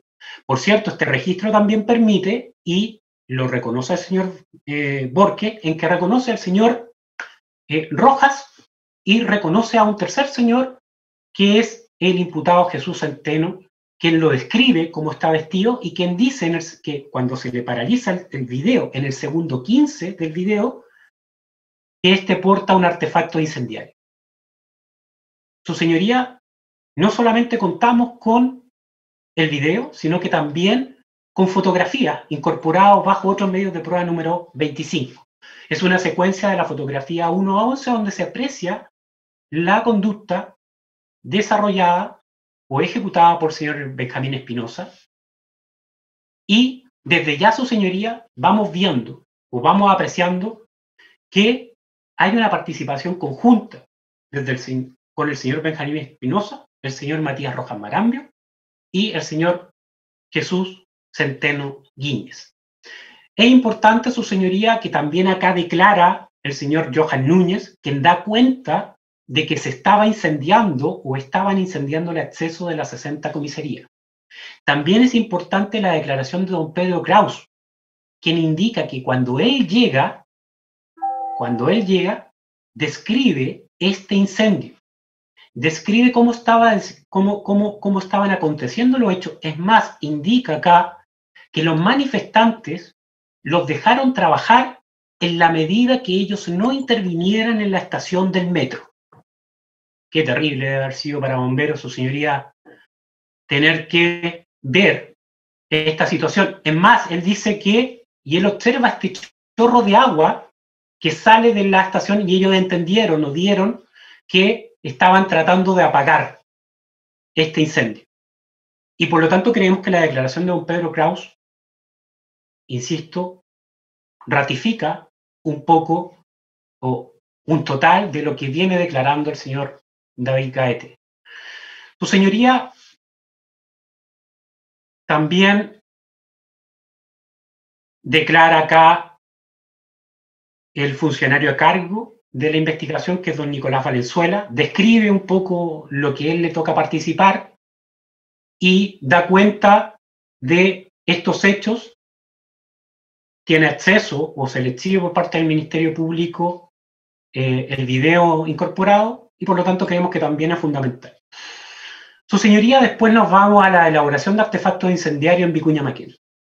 Pues bien, relata el señor David Gaete, siempre siguiendo la declaración de él, que una vez que lanza este artefacto incendiario el señor Benjamín Espinosa, en que estaba presente el señor Matías Rojas, también se incorpora un tercer sujeto a quien describe como quien usaba un pasamontaña color rojo-negro, además vestía una polera, manga larga negra, una mochila de color negra con gris, incluso indica la marca, marca Maui, y vestía pantalón negro con zapatillas de color oscuro.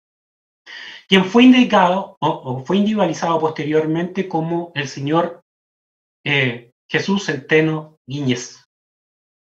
Su señoría indica que ellos se van del lugar en dirección hacia Vicuña Maquena y los observa empezar a preparar artefactos incendiarios. Su señoría, en tal sentido, pudimos contar con, no solamente con la declaración nuevamente del señor David Gaete, sino también con el video número uno introducido por el Ministerio Público bajo otros medios de prueba 25. Su señoría es un video no menor de dos minutos y algo, en que usted va apreciando todo lo que va relatando el señor David Gaete en cuanto a la preparación. Su señoría pudimos apreciar en este video la presencia de un bidón, bidón azul que desde ahí empieza a aparecer. Y este bidón azul, en principio, es sostenido por Benjamín, luego su señoría se le traspasa a Matías, porque ya al parecer estaba vacío, ¿ah? ya no había, ya no quedaba más combustible. ¿ah? Y finalmente se le entrega a don Jesús, que él lo guarda, lo guarda en su mochila y eso su señoría lo puede apreciar en, el segundo 042. Importante porque en este video usted podrá apreciar que el jockey negro que ya venía utilizando el señor Benjamín Espinosa en las instalaciones de el Metro Universidad de Chile y, perdón, en las instalaciones de la Universidad de Chile y en la salida del Metro Baquedano de Arturo Burle, ese jockey negro ahora es utilizado en su cabeza por el señor Jesús Centeno. Lo cual da muestra de que esto no se conocían en forma fortuita, no se habían encontrado por mero azar, no, se conocían. Ya a ese momento intercambiaban sus pertenencias. Su señoría, pudimos apreciar la forma en que, en que se realizan estos artefactos, bastantes artefactos, su señoría, cada uno al finalizar el video podrá apreciar que sale con un artefacto, al menos con un artefacto incendiario en sus manos. Y usted puede apreciar que ellos se dirigen, los tres, todos juntos, hacia un lugar. Y continúa el relato del señor David Gaete. Y dice que posterior a esto, ellos se dirigen, su señoría, a la Hacienda Gaucha.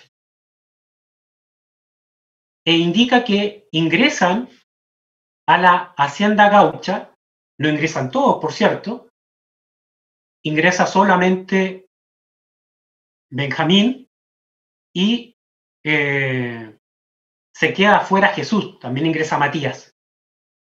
Revisan, buscan botellas, no las encuentran, no hay botellas, y acto siguiente salen. Indica que no realizan ningún daño. Y que caminan unos metros e ingresan al aparotel. Aparotel, su señoría, estaba oscuro. Dice que ingresan, suben por una escalera, suben hasta, dice el tercer, cuarto piso, ingresan a una de las habitaciones describe cómo están estas habitaciones, dice que hay un dormitorio, hay un baño, hay una cocina, típico de los aparatos, y que lanzan este artefacto incendiario solo Benjamín y Jesús. Matías decide no lanzarlo. ¿Por qué? Él no lo sabe, no obstante describe que estaba al lado de él y que lo lanzan hacia la muralla donde habían ropas de cama, indica, y que esto empieza a incendiarse. Acto siguiente ellos se van, bajan y se... Es importante señalar, su señoría, que no pudo ser grabado esta, esta situación o esta secuencia por la oscuridad que había, el peligro que existía en ese momento de ser descubierto, y lo relata él, pero no obstante él dice, lo sigue. Indica que los acusados se quedan afuera están, mientras ya tanto llega bombero, su señoría, y ellos están unos minutos y luego se retiran del lugar. Su señoría, contamos a su vez con la declaración del incendio del señor Pedro Kraus. El señor Pedro Kraus, quien ya había dicho, estaba en ese momento en el incendio de las instalaciones de la Universidad de Chile, quien también había presenciado hace ya un rato atrás eh, el lanzamiento o el incendio del ingreso de la, del metro Baquedano, también llega al lugar. ¿Y por qué? Porque él ve el contexto que se va produciendo, el contexto que estaba, el que estaba ocurriendo. Dice que eso no era usual, que ellos estaban acostumbrados a trabajar con tranquilidad y que el, el, día no era usual. Su señoría relata que él decide no eh, retirarse del lugar y que él, mientras está dando una vuelta por el perímetro, le informan personas que se está produciendo un incendio en el cuarto piso de un departamento, que más tarde confirma que este departamento era la hotel Principado, que él decide trasladarse con el carro bomba que estaba, se posesiona afuera y da la señal de alerta, de aviso, en la cual su señoría, ellos concurren. ¿A qué hora indica él? 19.40. ¿Qué es lo que dice el señor Gaete en su declaración? Que este incendio tiene que haber ocurrido entre las 19.30 y las 19.40. ¿Confirma esto el señor Kraus con su declaración? Por cierto, también confirma el señor Kraus que el lugar estaba oscuro, que había que ingresar y que una vez que uno ingresaba tenía que subir derechamente o había una escalera en que uno subía derechamente a este cuarto piso y lo confirma. Su señoría, perdón.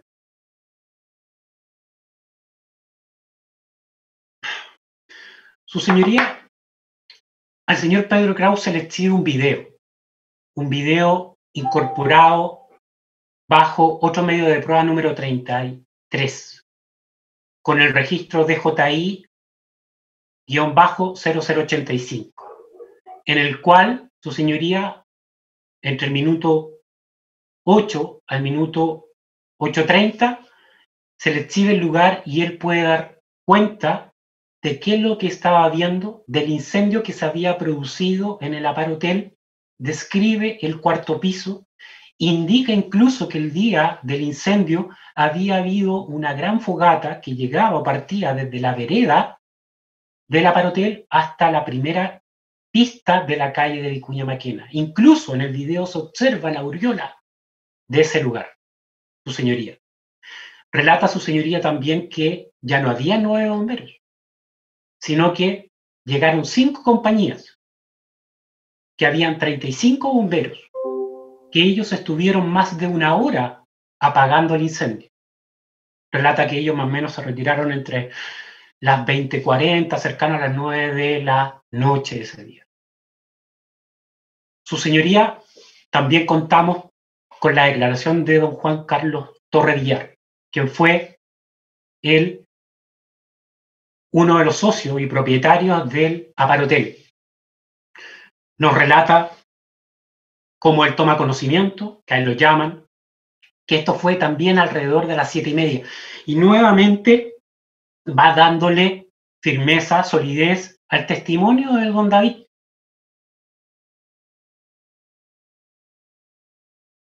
Su señoría indica que las cámaras al interior de este lugar habían sido destruidas y por lo tanto él no tenía acceso y por lo tanto él solamente contaba con lo que él le estaban comunicando eh, por teléfono. Él dice que ve las imágenes por televisión, espera un tiempo prudencial, dada la violencia que se está produciendo, él habla más o menos de unas dos horas y por lo tanto él habría llegado entre las nueve, nueve y media, lo cual coincide más o menos con la llegada o la salida de bomberos del lugar.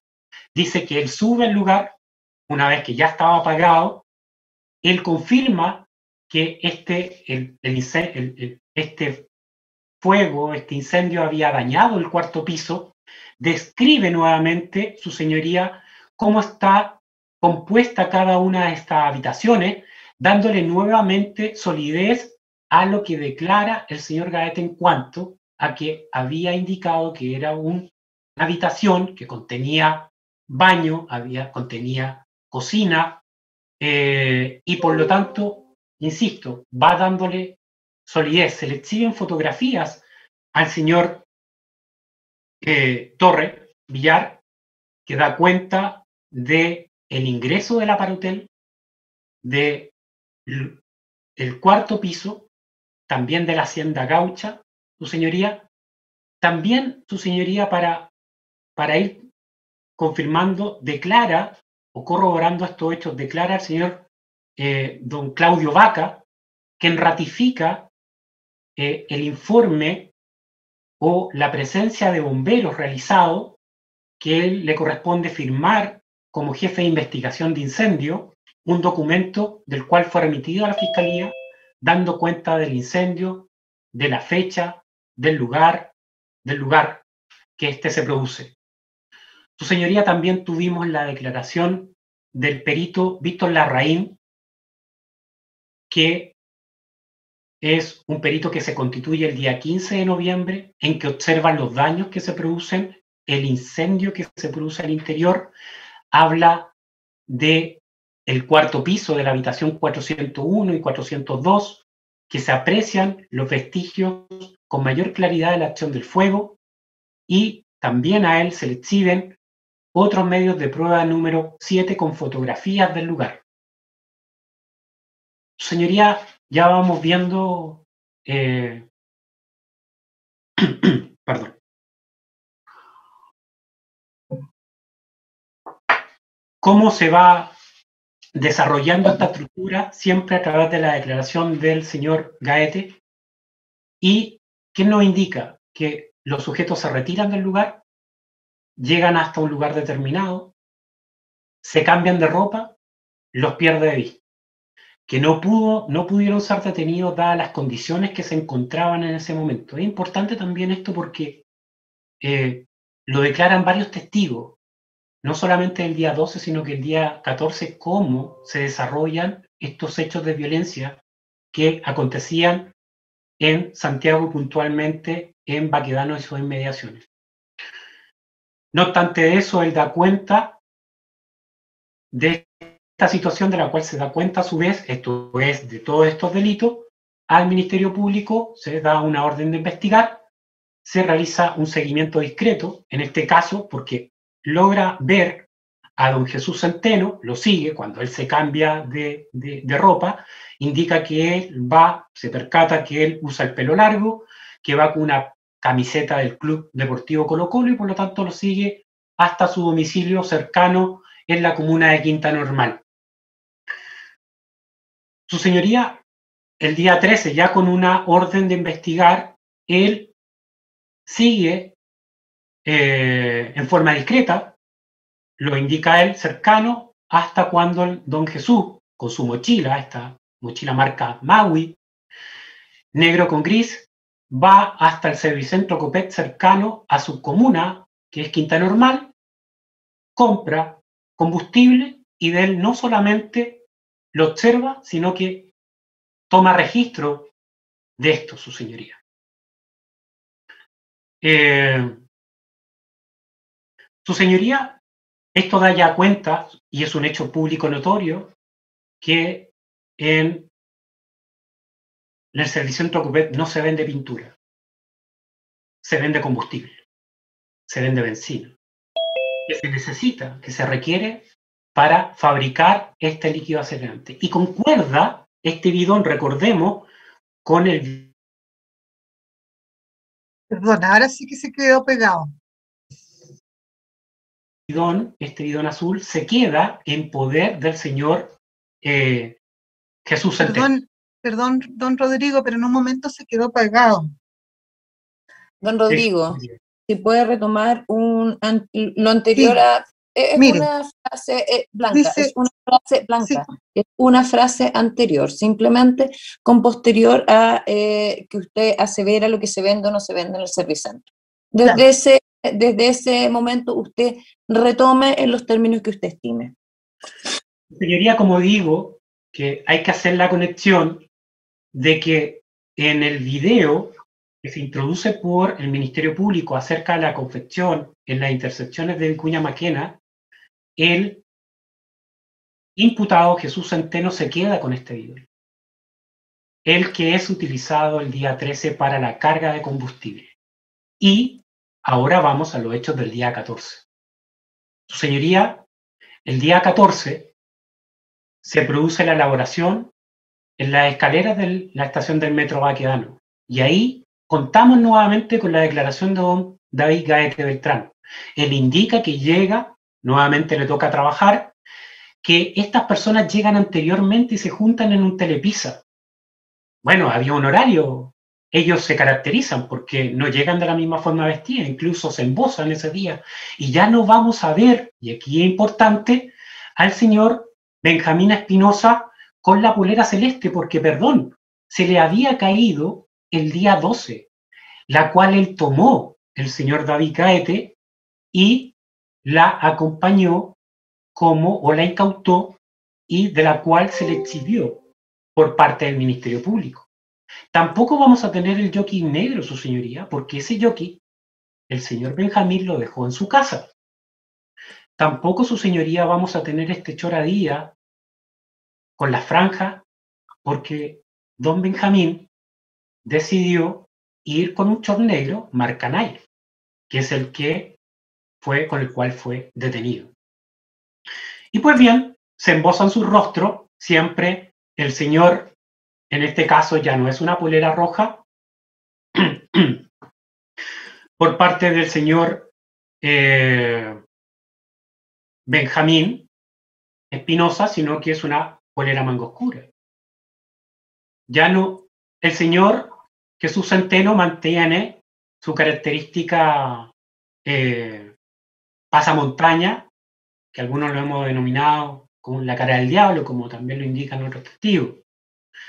Y en el caso del señor Benjamín, oh, perdón, Matías Rojas, ya no usa esa polera roja, una roja color fuerte, que fue incautada ese día. Esto yo lo digo a título propio porque usted lo podrá comparar. Él utiliza la polera que usaba el señor Benjamín Espinosa. Lo podrá observar en los videos y podrá hacer los comparativos. Esa era la polera que usaba el señor Matías Roja ese día. Esa polera color roja que usaba el día Benjamín el día 11, bueno, él la usa y se puede apreciar en videos eh, el color y hacer. ¿Por qué él usaba la roja? Del primer día, porque fue incautada ese día en la madrugada. Pues bien, su señoría, tuvimos para esta elaboración no solamente la declaración de don David Caete, quien describe cómo en la escalera se concerta un grupo de personas, se ve a los tres acusados con este bidón realizando o vertiendo por parte de Benjamín un líquido desde este eh, contenedor hacia botellas. Su señoría tuvimos las fotografías 12 y 13 incorporadas bajo otros medios de prueba números 32, que corroboran lo indicado por el señor David Gaete. Su señoría también se incorpora acá un video, el video número 1 de otros medios de prueba, número 31, su señoría, que fue grabado por el testigo David Gaete, en cual se aprecia que después de eso se observa por Vicuña Maquena caminando a un grupo de seis sujetos, mismos seis sujetos, bastantes sujetos, que estaban en la escalera porque se aprecia personas caminando con ya escudos. Yo agrego a, a, diferencia también de lo que indica el Ministerio Público, que también pasa a ser grave esta situación, porque después nos percatamos, conforme a la declaración de Nicolás Valenzuela, que acá se utilizaron a menores de edad. Había una muchacha menor de edad y una de las personas que se le incauta este escudo con la gráfica del Capitán América era un menor de.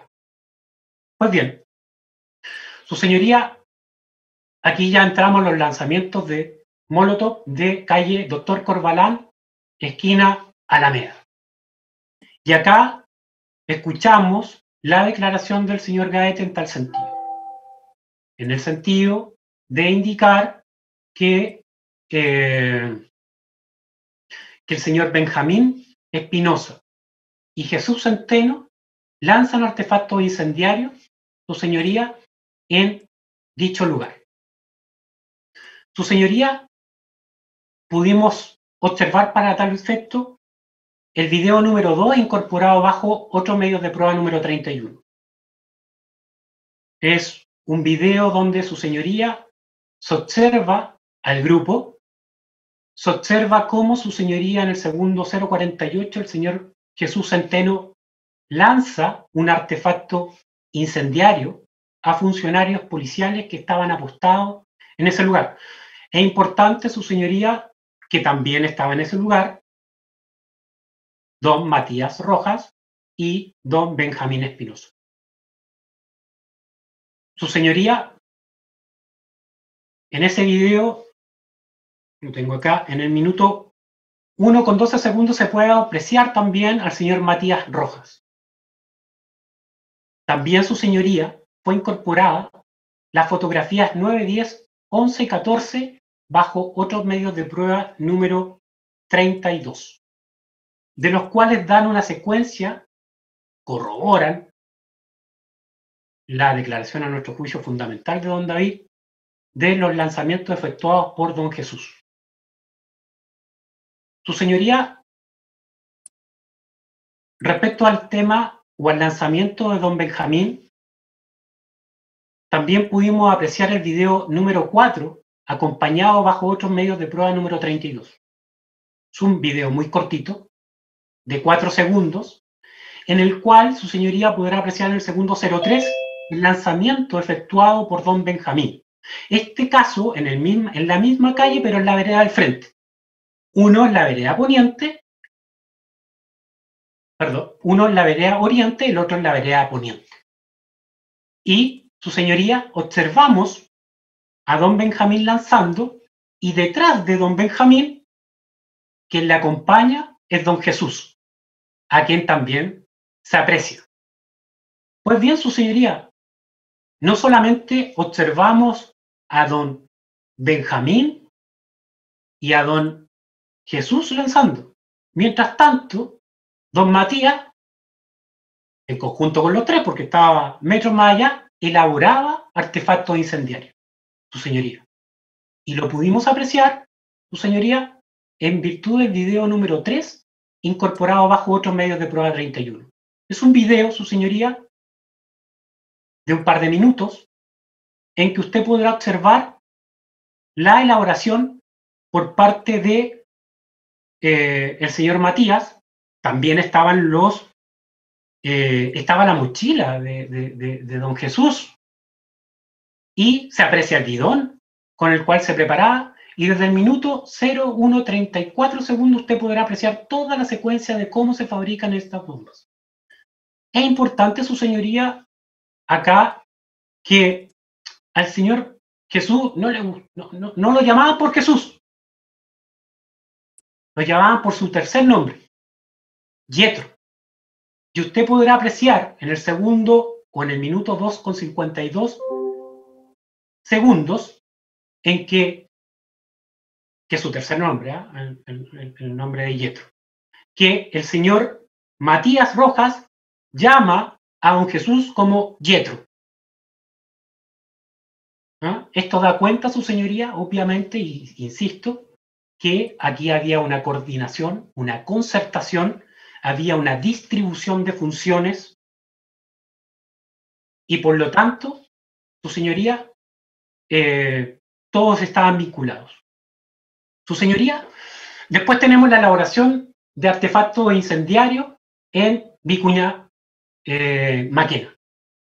Contamos ahora, su señoría, no solo con la declaración del testigo David Gaete, quien indica que una vez que se retiran de ese lugar, se van a hacer, en un rato más, más bombas incendiarias en el bandejón central de eh, Vicuña Maquena, indica. Su señoría, ahora también contamos con la declaración de don Felipe Miranda. Don Felipe Miranda ratifica lo declarado por el señor David Gaete. A él se le informa, él es el operador del dron, él es el oficial a cargo de ese equipo de trabajo que está el día 14 y que eh, básicamente eh, le toca participar en este seguimiento que se realiza por parte de funcionarios eh, que indica él que están haciendo de sujetos que están armando y lanzando artefactos. Su señoría, Dice que en principio él observa esto, no obstante no tenía claridad qué es lo que estaban haciendo, pero que estaban fabricando o estaban virtiendo un líquido desde un bidón hacia unos contenedores. Su señoría se incorpora como ratificación de estas dos declaraciones video bajo otros medios de prueba número 33. Es el video que quedó consignado como 0086, eh, introducido por el Ministerio Público como número 6. Es un video bastante largo, su señoría, desde el cual, desde el minuto... Perdón, disculpe que lo interrumpa, pero otros medios, número cuánto dijo?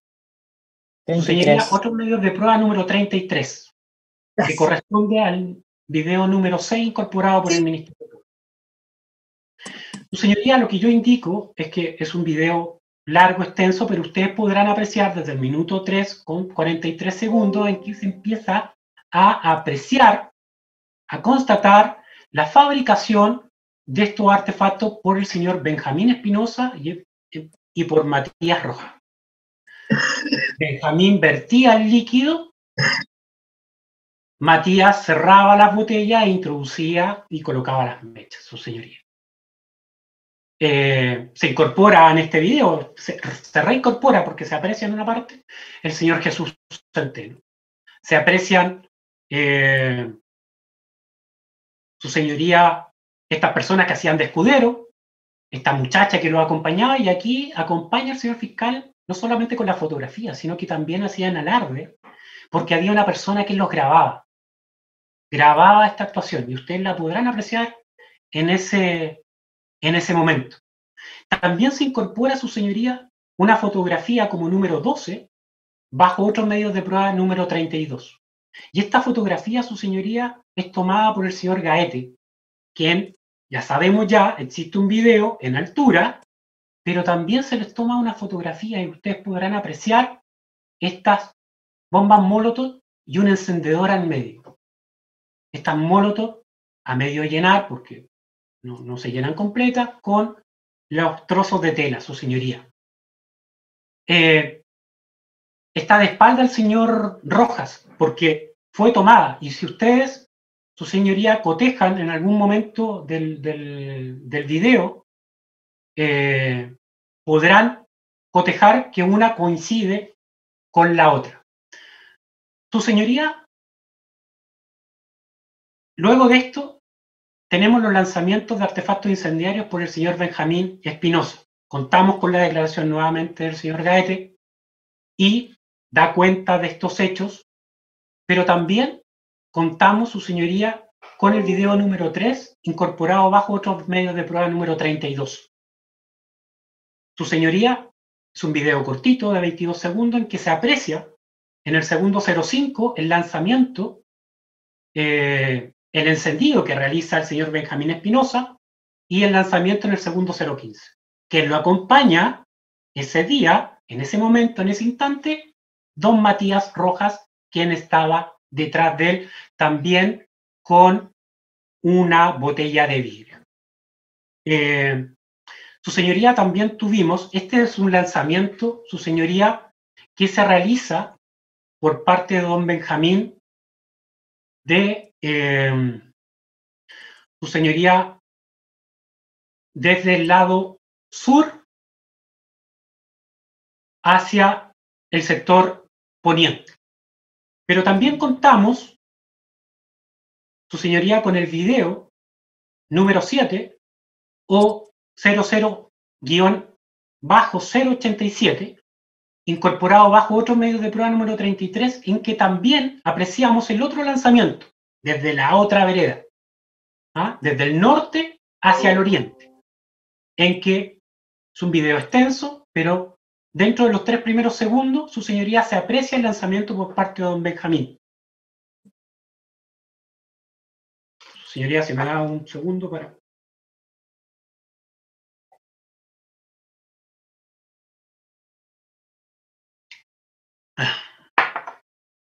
Su señoría, la verdad es que también fuimos apreciando el lanzamiento que realiza don Benjamín Espinosa más tarde, ya se acercaba un poco ya la tarde ya, eh, en este sentido, eh, contamos también en su momento con la declaración de don Felipe Miranda, nuevamente que confirma estos lanzamientos, eh, y su señoría, ya nos vamos a la detención.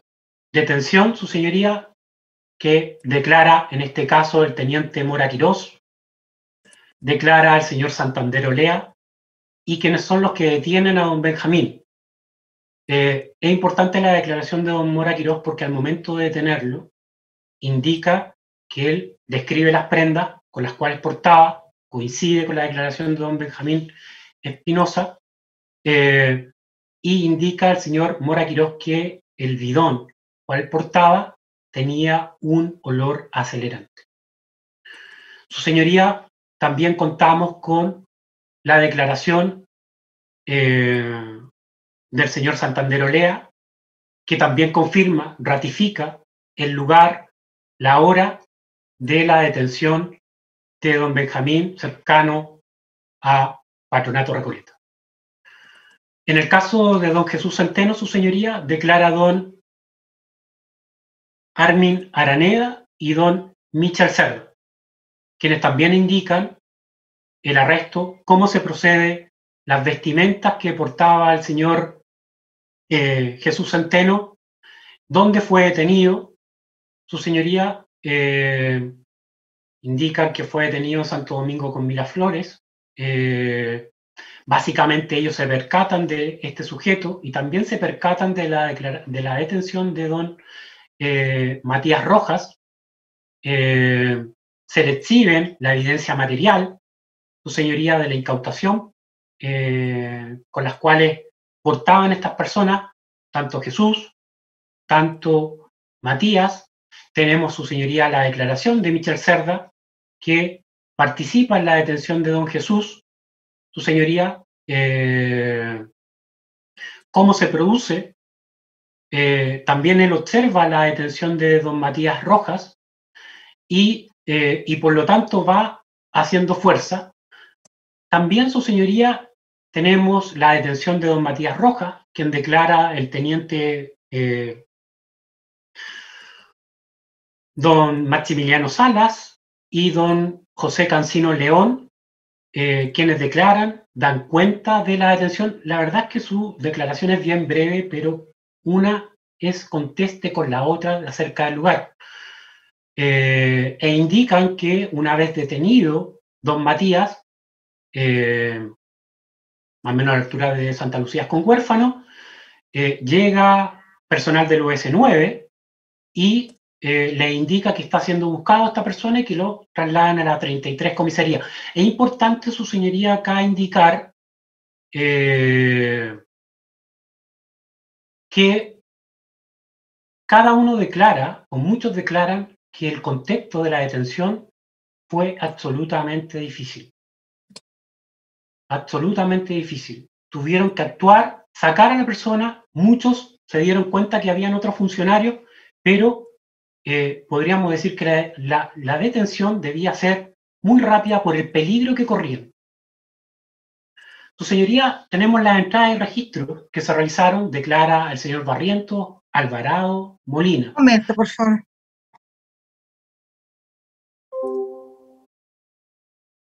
Su señoría declara en este sentido estos tres oficiales que son del OS9, en que se le encarga la entrada de registro a distintos lugares eh, al domicilio de Benjamín Espinosa, que se le incauta ese día en la madrugada eh, puntualmente este jockey negro eh, y estos chores marcadías. En el caso de don Matías, esta polera roja que utilizó el día 12 para embosar su rostro, y en el caso de don Jesús, la polera de Colo Colo, eh, también se le incauta estos pantalones negros y, eh, y estas eh, zapatillas que portaba el día 12. Su señoría, ya para ir finalizando,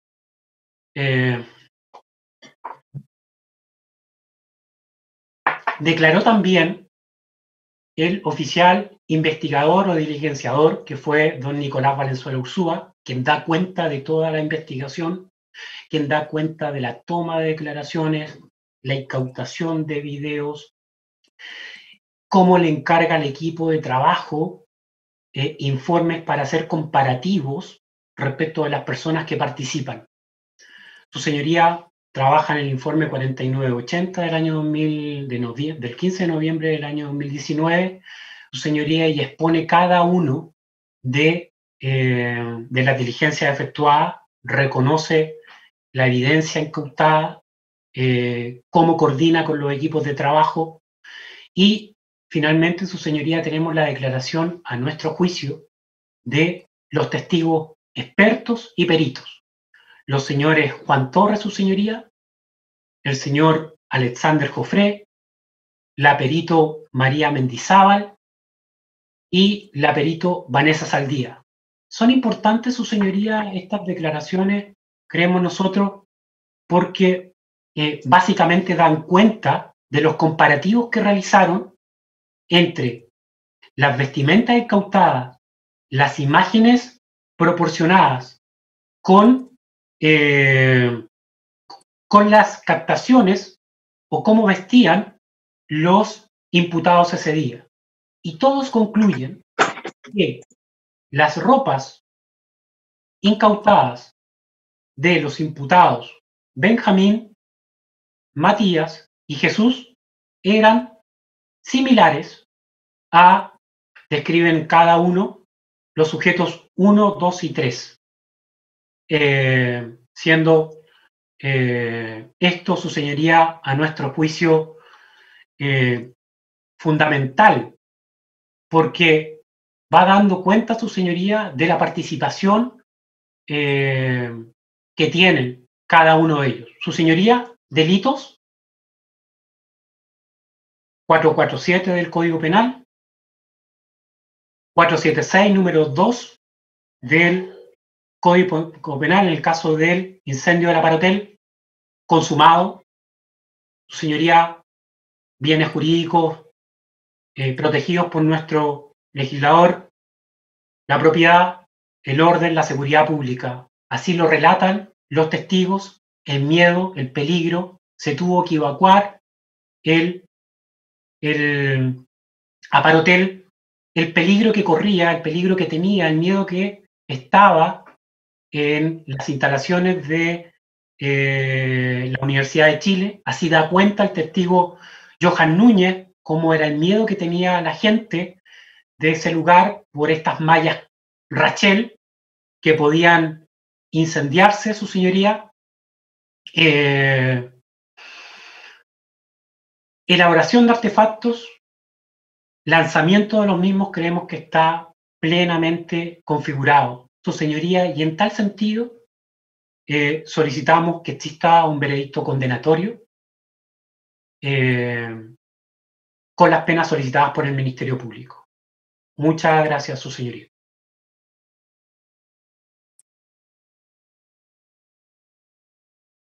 Bien.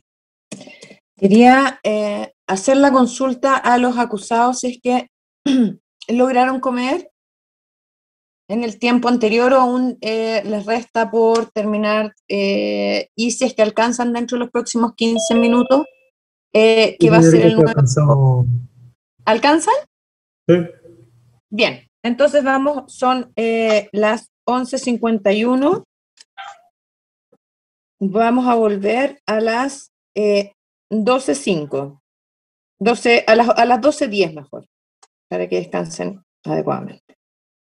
Muy bien, hasta pronto.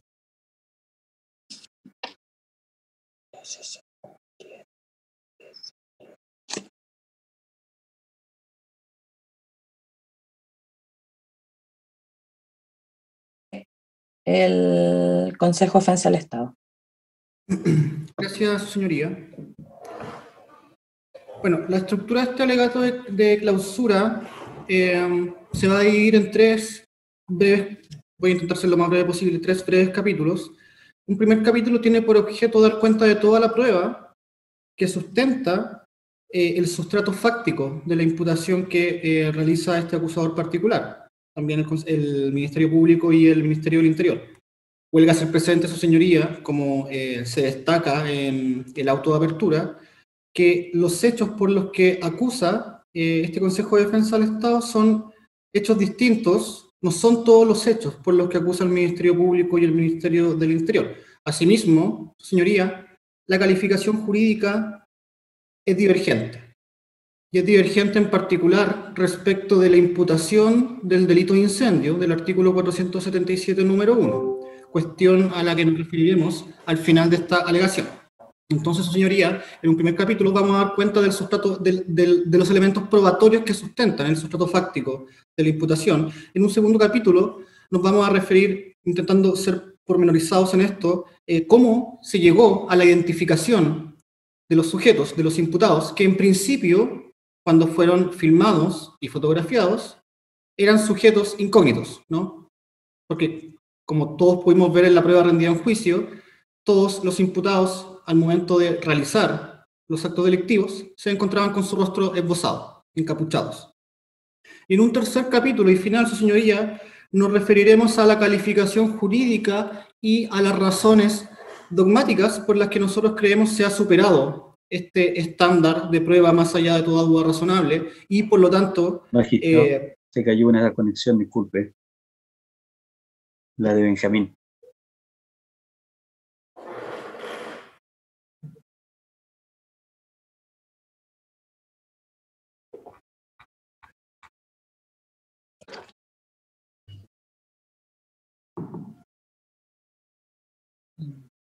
Magistrado, uno de los acusados me dice además que no escucha nada.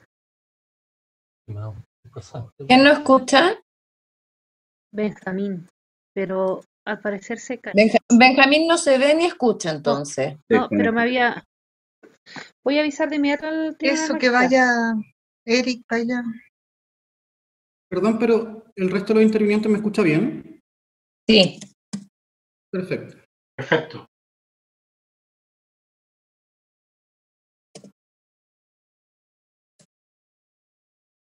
Vamos a esperar que se supere esta, este impas con la conexión de uno de los acusados para efectos de continuar con su alegación, señor abogado.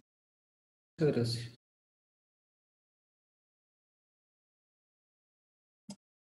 Que tome contacto con el tribunal magistrado.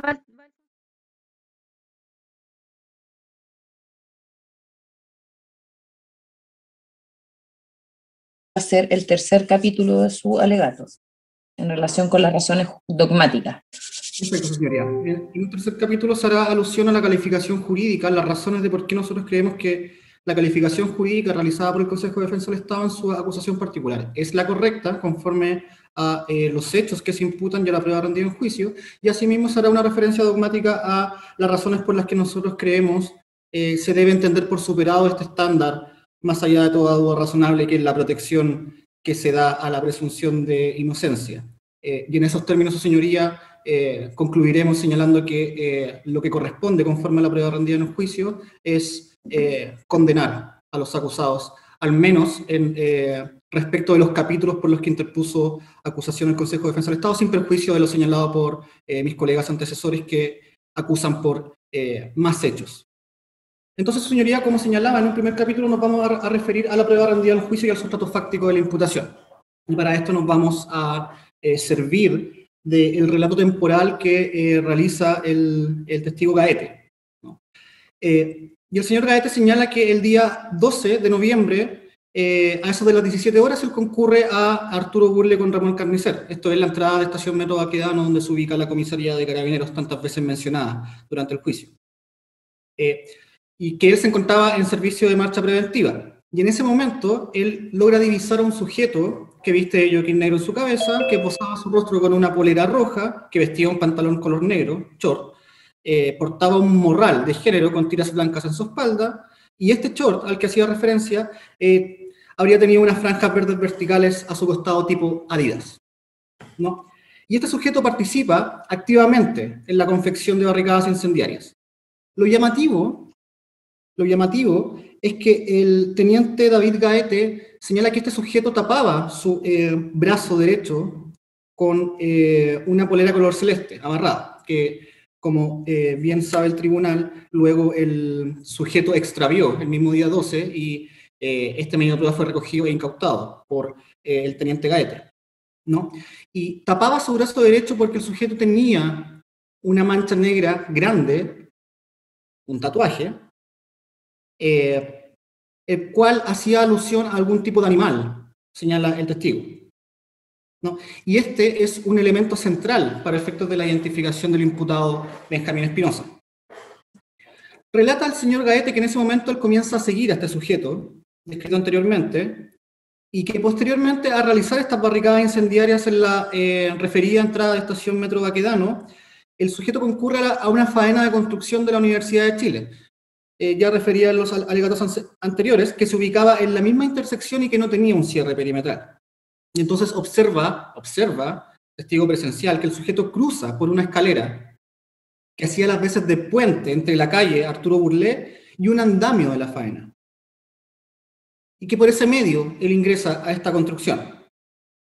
Observa también que el imputado Espinosa, identificado posteriormente como el imputado Espinosa, portaba una bomba Molotov en su mano derecha que estaba conformada por una botella de vidrio tipo Nectar Watts, señala el testigo, con un líquido amarillo en su interior, y que en su boquilla tenía una mecha de color negra.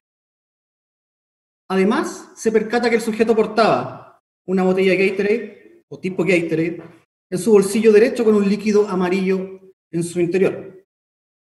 Señala el testigo que al descender esta faena de, de construcción y en seguimiento cercano de este imputado, puede observar que el mismo se dirige hacia el lugar en donde había, había material apilado en el suelo. Y al costado de este material, su señoría, había una máquina aplanadora. Momento en que el testigo graba el instante en que Espinosa saca de su bolsillo un encendedor, con el cual enciende la mecha de este artefacto incendiario que él portaba, artefacto incendiario de fabricación artesanal tipo Molotov, y lo lanza hacia este material apilado y a la máquina aplanadora, los cuales estallan, señala el testigo, y comienzan a incendiarse. Esto es refrendado por la declaración de Johan Núñez, ya referido, quien es un representante de vinculación con el medio de empresa ferrovial, que es la empresa contratista que se adjudicó esta licitación de construcción de este edificio eh, de, de la Universidad de Chile. Y Johan Núñez también señala que entre las 17 y las 19 horas aproximadamente los sujetos que estaban en la faena de construcción de la Universidad de Chile comienzan a prender unos sacos blancos, donde se, contienen residuos de la obra.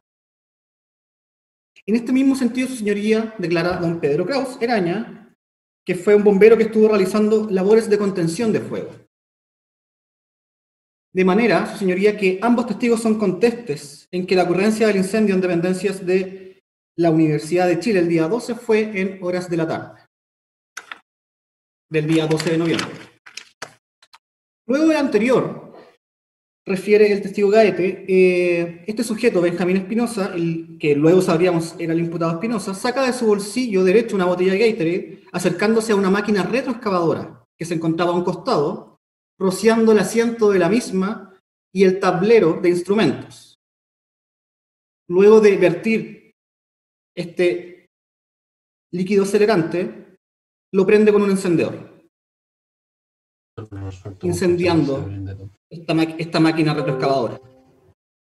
Sobre el particular Johan Núñez, quien realizó el catastro de los daños provocados en este acto delictivo del día 12 de noviembre, da cuenta en su declaración de haber sido quemada, él señala una máquina damper, que sería eh, esta máquina para cargar, que él señala que es como un carro pero con motor, además de una mini retroexcavadora y otros implementos. Johan Núñez toma fotografía de los bienes y entrega los mismos a los S9. El avalúo de los daños, conforme a lo que se exhibió al testigo Johan Núñez, documentación ingresada al juicio, y en particular a la mini retroexcavadora y al damper, ascienden a 25.923.333 pesos. En el caso de la mini retroexcavadora y en el caso del dumper, 9 millones de pesos. Ambos valores corresponden a valores netos depreciados. Esto adquiere importancia para efectos de la imputación que realiza el Consejo de de Defensa del Estado, que es una imputación de incendio simple del artículo 477, número 1, en que la, la gradación de la pena se realiza conforme al monto de los daños producidos por el incendio. Tomando en cuenta, su señoría, que el valor de la UTM a la fecha de los hechos era 49.229 pesos, resulta que los daños ascendientes conforme al monto antes referido es de 709,4 UTM, lo cual hace que la norma de sanción aplicable sea la del número 1 del artículo 477, que pone el límite en las 40 UTM. Además, el testigo Johan Núñez, señoría, refiere que la forma de operar eh, el contrato implica que las maquinarias son retiradas los días sábados de cada semana. Él señala que él vio las máquinas quemadas el día 13, pero que sin embargo era imposible que las máquinas no hubiesen estado presentes en el lugar de los hechos el día 12.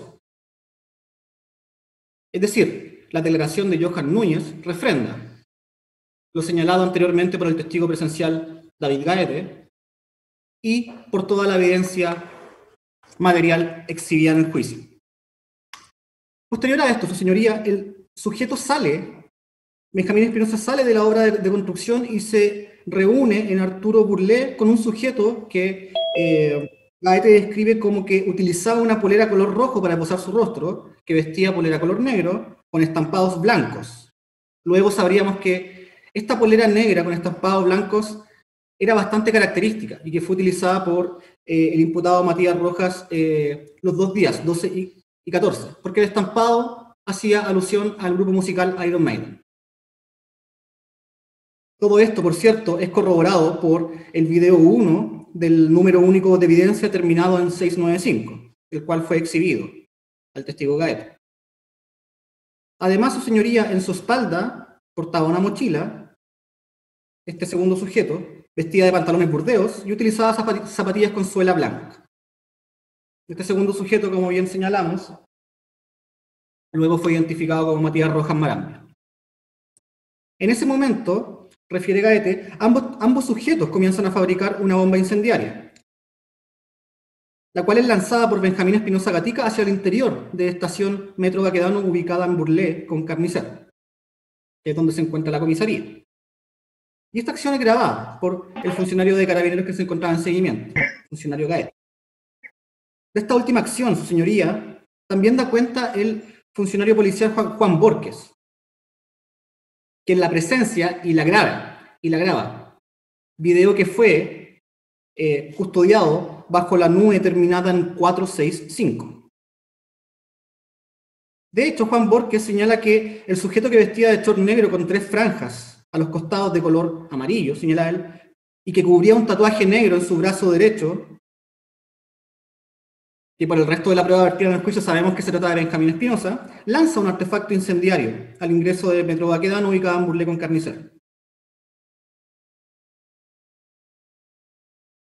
Por la exhibición de los videos posteriormente a los que haremos referencia, sabemos también que Matías Rojas se encontraba presente al momento de realizarse este lanzamiento.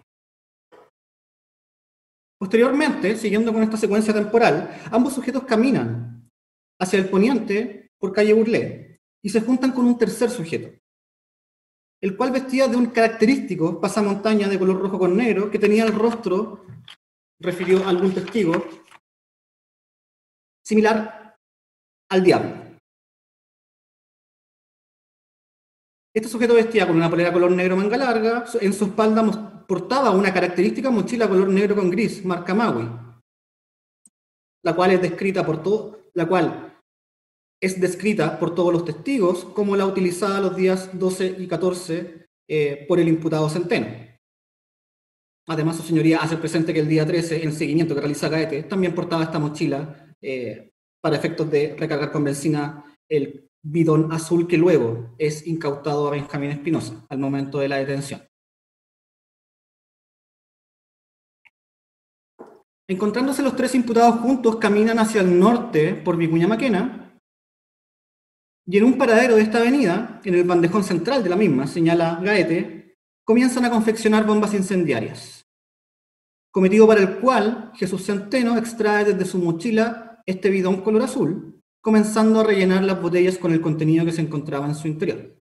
En esta acción, señala Gaete, los sujetos invierten alrededor de 15 minutos. Luego de lo anterior, los sujetos concurren a la Hacienda Gaucha, a la Parotel, que son hechos por los cuales el Consejo de Defensa del Estado no interpuso acusación, por lo tanto nos remitimos a lo señalado anteriormente por los acusadores.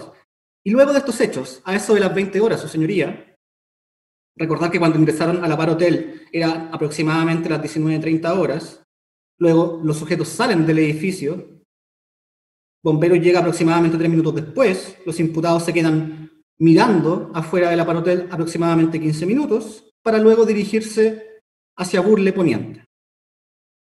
Entonces, señoría, a eso de las 20 horas del día 12, David Gaete señala que a Espinosa se le cae de su brazo derecho la polera color celeste que portaba amarrada para camuflar este tatuaje, que asimilaba a un animal o un tigre, señala eh, el testigo.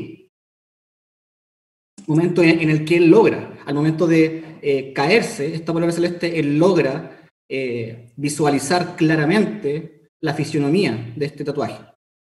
Esta polera, como bien señalé, es recogida e incautada por eh, el testigo Gaete. Siguiendo con esta secuencia temporal, a las 20-20 horas del mismo día 12, los sujetos llegan a Pasaje Reñaca, lugar donde se cambian de ropa. Lo trascendente de esta situación, su señoría, es que, no obstante perder el testigo Gaete de vista a Benjamín y a Matías, logra observar el momento en que Jesús Centeno se saca el pasamontañas característico con este rostro de diablo, color rojo con negro, pudiendo observar que utilizaba el pelo largo. Y también pudiendo observar que Jesús Centeno se saca la polera y se coloca una polera color blanco del equipo de fútbol Colo Colo, la cual posteriormente es incautada desde su domicilio y la cual tiene ciertas características particulares a las que haremos mención. Al no perder de vista a Centeno, Gaete comienza a seguirlo.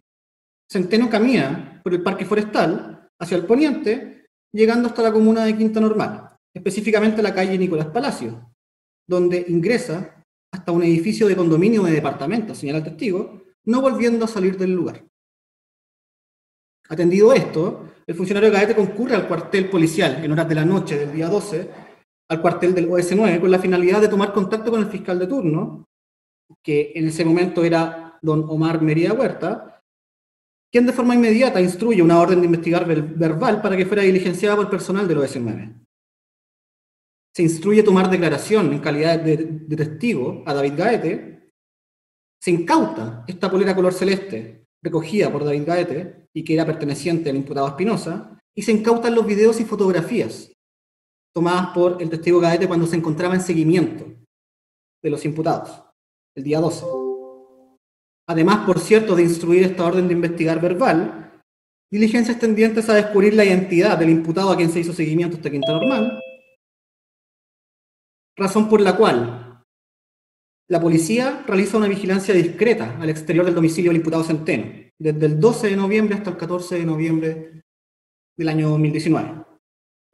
Es en este contexto, su señoría, que el día 13 de noviembre, alrededor de las 11.30 horas, señala el testigo Gaete, sale un sujeto del edificio, el cual era de contextura alta y delgada, pelo largo y suelto, vestía de polera celeste claro, short negro, zapatillas deportivas color negro, utilizaba audífonos blancos y en su espalda portaba una mochila negra con gris marca Maui, que fue la misma utilizada el día anterior para la comisión de los ilícitos imputados. Importante recordar, señoría, que Gaete pudo observar el rostro de Centeno cuando éste se, se quita su característica capucha o máscara el día 12 en medio de las manifestaciones. Y es por esto que él reconoce cuando Centeno sale de este edificio de departamentos el día 13. Posterior a esto, Gaete da seguimiento a este sujeto, a Centeno, quien camina hasta un servicentro Copec ubicado en Avenida Mapocho con Matucana, lugar donde, como ya se ha referido, Centeno saca del interior de su característica mochila Maui un bidón color azul, el cual procede a ser llenado por el bombero con benzina. Esta situación es fotografiada por David Gaete.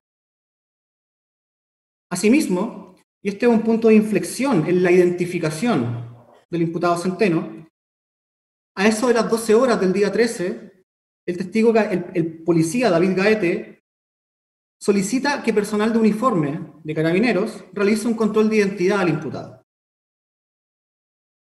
lográndose establecer que su identidad es Jesús Centeno Guíñez. Luego de esto, luego del control de identidad, relata el testigo, el sujeto vuelve a ingresar a su domicilio ubicado en Patricio Lynch 1650. Recordemos que eh, señala el testigo que el, edificio tenía dos entradas, por eso anteriormente se mencionó otra dirección. ¿Ya? Patricio Lynch, número 1650, comuna de Quinta Normal.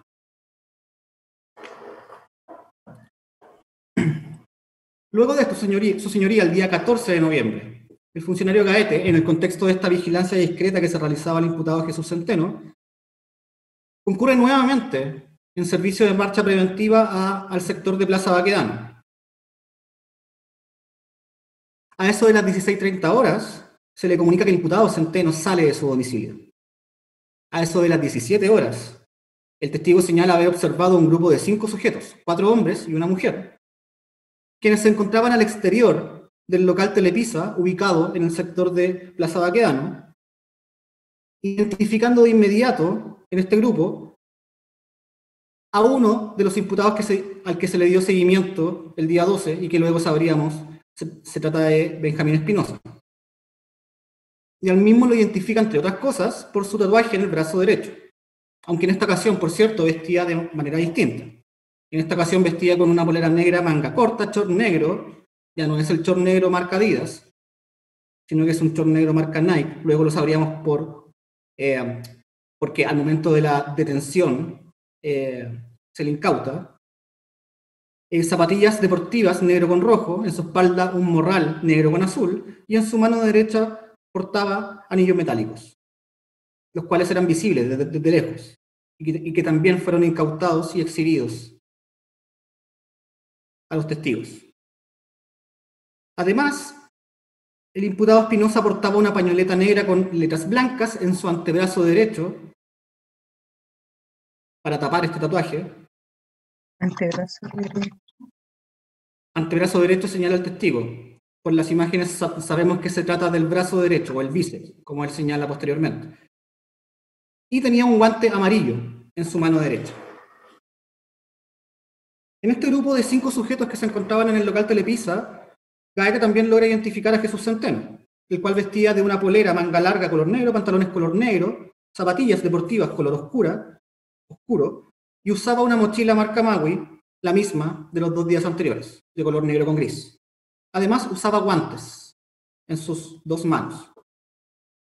Asimismo, logra identificar al imputado Matías Rojas, quien utiliza la misma vesti- vestimenta que el día 12, como ya se ha referido. En este grupo, también, su señoría, había un sujeto que portaba un escudo metálico de grandes dimensiones, el cual era característico eh, por esta letra A y por hacer eh, los colores que fueran similares a los colores del Capitán América. Y, este es- y por último, dentro de este grupo de cinco personas, una mujer que vestía con prendas oscuras. Esa es la descripción que realiza el testigo Gaeta. Luego de identificar a los sujetos, el testigo pudo observar claramente cómo cada uno esboza su rostro. Espinosa lo hace con una polera color oscuro. Es decir, cambia la polera con la que tapaba su rostro en relación al día 12. Rojas utiliza la misma polera, la- las mismas prendas, como señalamos, y Jesús utiliza el mismo pasamontañas, característico, de color rojo con negro. Posteriormente a esto, a encontrarse en, este, en las afueras de este local Telepisa de Plaza Baquedano, los sujetos caminan hacia la entrada de estación Metro Baquedano, ubicada en la intersección de eh, Alameda con Vicuña Maquena, colocándose en la escalera de las mismas, donde con la finalidad de no ser observados, mientras confeccionaban material incendiario, son cubiertos por los escudos metálicos que portaban sus acompañantes. Acción que de igual forma fue fotografiada y que fue exhibida en juicio. Luego de confeccionar y lanzar las bombas, bombas incendiarias a personal de carabineros en calle Corbalán con Carabineros de Chile, los cinco sujetos caminan por Vicuña Maquena hacia el norte, confeccionando más bombas incendiarias en el bandejón central de la referida avenida. Luego caminan hacia la explanada de Baquedano, al ingreso principal de la estación, y Espinosa extrae una bomba incendiaria de fabricación personal, enciende la mecha y la lanza hacia el interior de la estación. La estación que fue caracterizada por algunos testigos como la, el ingreso plazoleta. Lugar que refiere el testigo Gaete estaba siendo custodiado por carabineros. Luego de esto, los sujetos se digregan, quedando en la intersección de Vicuña Maquena con Alameda solamente Benjamín con la mujer. Y esto es importante, porque se logra captar que es el imputado Espinosa quien se queda con el bidón azul, que Centeno había cargado con benzina o con líquido acelerante el día 13. Y eso explica que el bidón azul haya sido incautado posteriormente a Benjamín Espinosa, al momento de su detención. Luego de lanzar un último elemento incendiario contra carabineros, en calle Corbalán, Espinosa se retira del lugar con la mujer, caminando hacia el norte por Parque Forestal, llegando a Loreto con Bellavista, instancia en la que Gaete solicita asistencia de personal de uniforme de carabineros para lograr su detención. Los sujetos comienzan a correr, refiere el testigo Gaete, siendo aprendidos en Bellavista con patronato, como una Recoleta, y en forma paralela eran detenidos Centeno y Rojas además del otro sujeto que portaba el escudo con características similares a las del Capitán América. Luego de la detención, todos los sujetos imputados fueron trasladados hasta la 33 comisaría de Ñuñoa, en donde personal del OS9 toma contacto nuevamente con el fiscal de turno, Omar Mérida, quien dispone orden de entrada y registro al domicilio de los imputados. Su señoría, los hechos del día 12 antes relatados son corroborados en primer lugar, por la evidencia terminada en 923, la cual en su video 1 da cuenta de la participación activa de los tres imputados en la confección de bombas Molotov. De hecho, en dicho video se puede apreciar que los tres imputados mantienen botellas de vidrio en el suelo, algunas de ellas con trozo de tela negra adherido, adheridas a su boquilla, y un bidón color azul al centro, el característico bidón, que opera como nexo entre los tres imputados. Y también se puede observar en este video 1 que los sujetos se traspasan implementos para la confección de los artefactos incendiarios, los cuales después de confeccionados son portados por los tres imputados. En esta misma evidencia, en los videos 2, 3, 4 y 5, conforme al orden en que fueron ingresados al juicio, se puede observar a Espinosa al interior de la faena de construcción de la Universidad de Chile, ubicada en Burle con Carnicel, ya referido. En estos videos se puede observar claramente cómo el imputado lanza una bomba molotov hacia materiales que se encuentran apilados a un costado de una máquina aplanadora, o damper, como referiría el testigo Johan Núñez. Además, su señoría se logra apreciar claramente cómo el imputado Espinosa rocía una máquina retroexcavadora con un líquido acelerante que mantenía al interior de una botella de Gatorade. Recordemos que esta botella de Gatorade había sido señalada ya por eh, el testigo Gaete. Y luego de rociar esta máquina retroexcavadora con este líquido que se encontraba al interior de esta botella Gatorade, eh, se logra apreciar en esta prueba audiovisual que la maquinaria retroexcavadora se empieza a incendiar. Específicamente en su cabina, que es el lugar donde se vertió el líquido de la botella de Gatorade. En esta misma evidencia, su señoría, se exhiben fotografías, que es un CD con fotografías, y que también corresponde a los días, a los hechos ocurridos el día 12 de, noviembre del año 2019. Y en particular en las fotografías 9 y 10 se logra apreciar el momento en que Espinosa lanza una bomba de fabricación artesanal al ingreso de Estación Metro Baquedano, ubicado en Burle con Carnicel.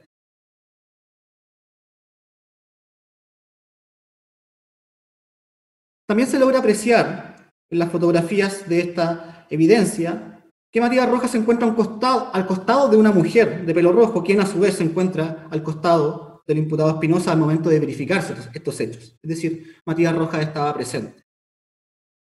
Se puede observar particularmente en la fotografía 11, su señoría, asimismo, que la llamarada provocada por este artefacto incendiario traspasa la, la rejilla de la- del ingreso de estación Metro Baquedano donde se encontraba personal de Carabineros de Chile. Y esto es sumamente trascendente, porque como referiremos en el capítulo final de esta exposición, la particularidad del delito de incendio es que es un delito de peligro concreto, que en particular pone en riesgo la seguridad colectiva. Y existen múltiples elementos, en el caso de la entrada Burlé con Carnicer, que dan cuenta del peligro que provocó el lanzamiento de estos artefactos incendiarios. Máxime, si se encontraba personal de carabineros custodiando el lugar. Máxime, si en los registros se logra ver claramente cómo desde el interior se lanza agua para intentar apagar el incendio provocado por el lanzamiento de estas bombas Molotov.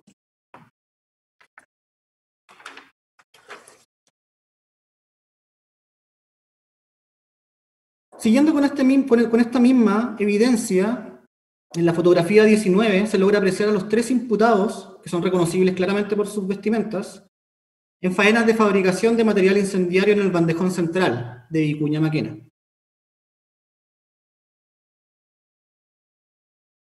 En las fotografías 20, 23, 24 y 25 se aprecia al imputado Centeno portando en su mano derecha una bomba incendiaria de fabricación artesanal tipo Molotov.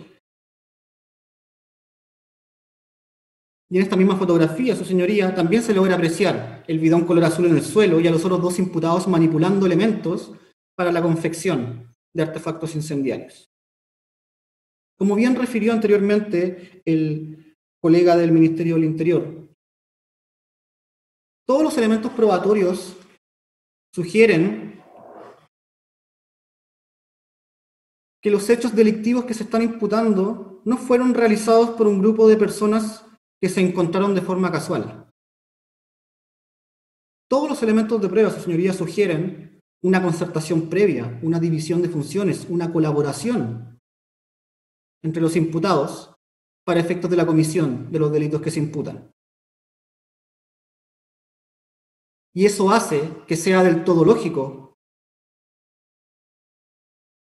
hacer imputaciones por coautoría en términos del 15 número 1.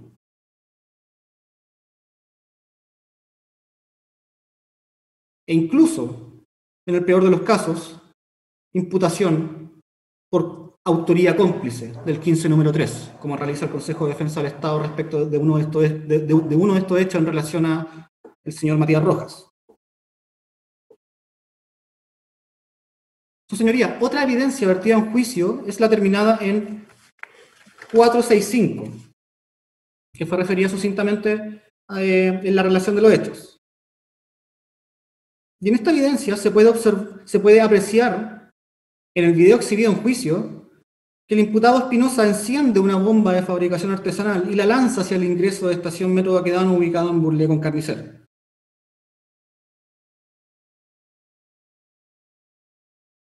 El sujeto que la lanza es claramente reconocible por sus vestimentas e identificable como Benjamín Espinosa. Otra evidencia vertida en juicio, su señoría, es la terminada en 932.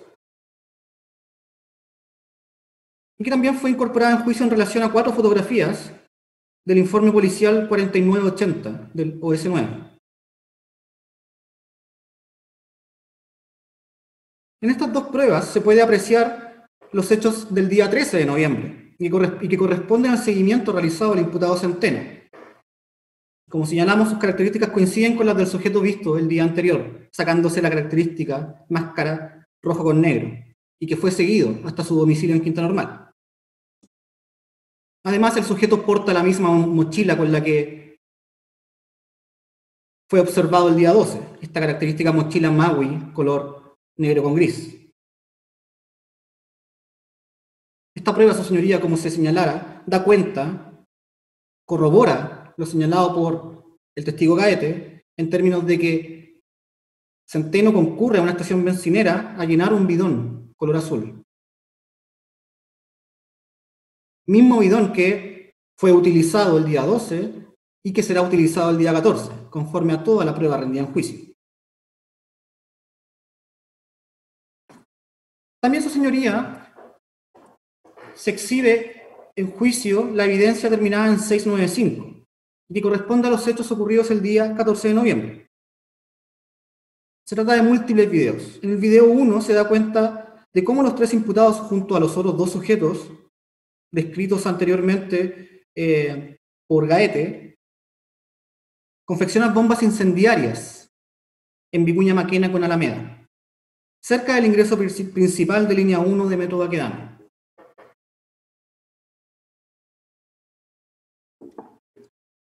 Lo que da cuenta de que se trata de bombas incendiarias, su señoría, conforme relata el testigo Gaete, es que se trata de botellas de 350 cc aproximadamente, con boca ancha. Señala que eh, la funcionalidad de esta boca ancha es que permite que eh, se vierta de forma más fácil el líquido acelerante hacia su interior. Estas botellas 350 cc boca ancha tienen un género adherido en su, en su boquilla, y el cual tiene la funcionalidad de hacer las veces de mecha. Bueno, en este video 1 se logra observar claramente cómo los sujetos manipulan todos estos implementos que terminan con botellas de 350 cc boca ancha con una mecha adherida en su boquilla.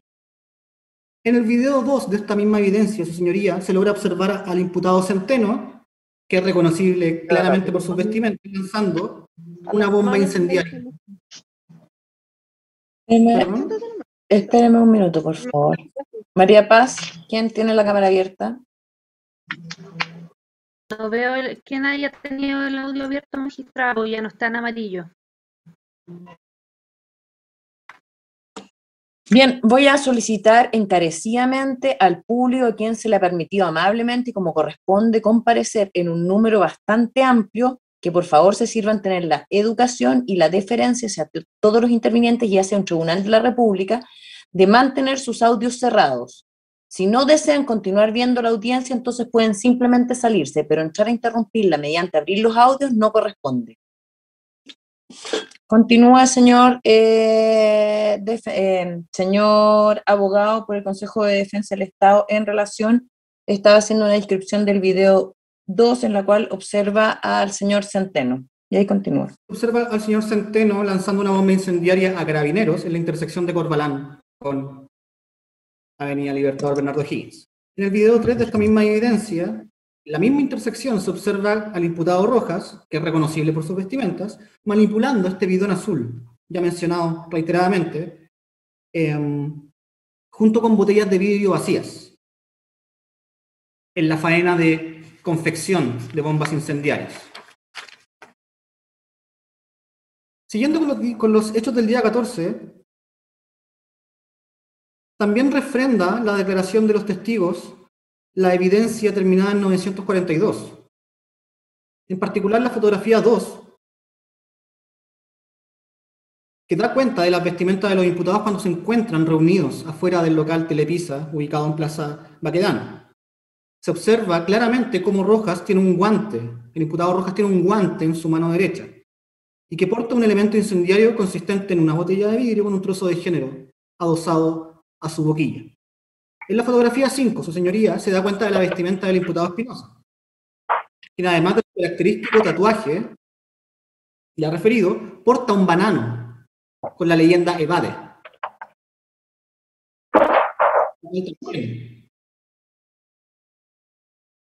Sí, hay alguien hablando, perdón. El público, acá hay alguien que se señala, público 5. ¿Quién es María Paz? Yo vi 13, su señoría. El público 5 mantiene el audio abierto. ¿Quién es María Paz? No, tengo está bloqueado el audio del público 5, no tiene audio. También presencia el número 13. Yo igual vi el Bien, 13. ¿existe alguna posibilidad, así como señala María Paz?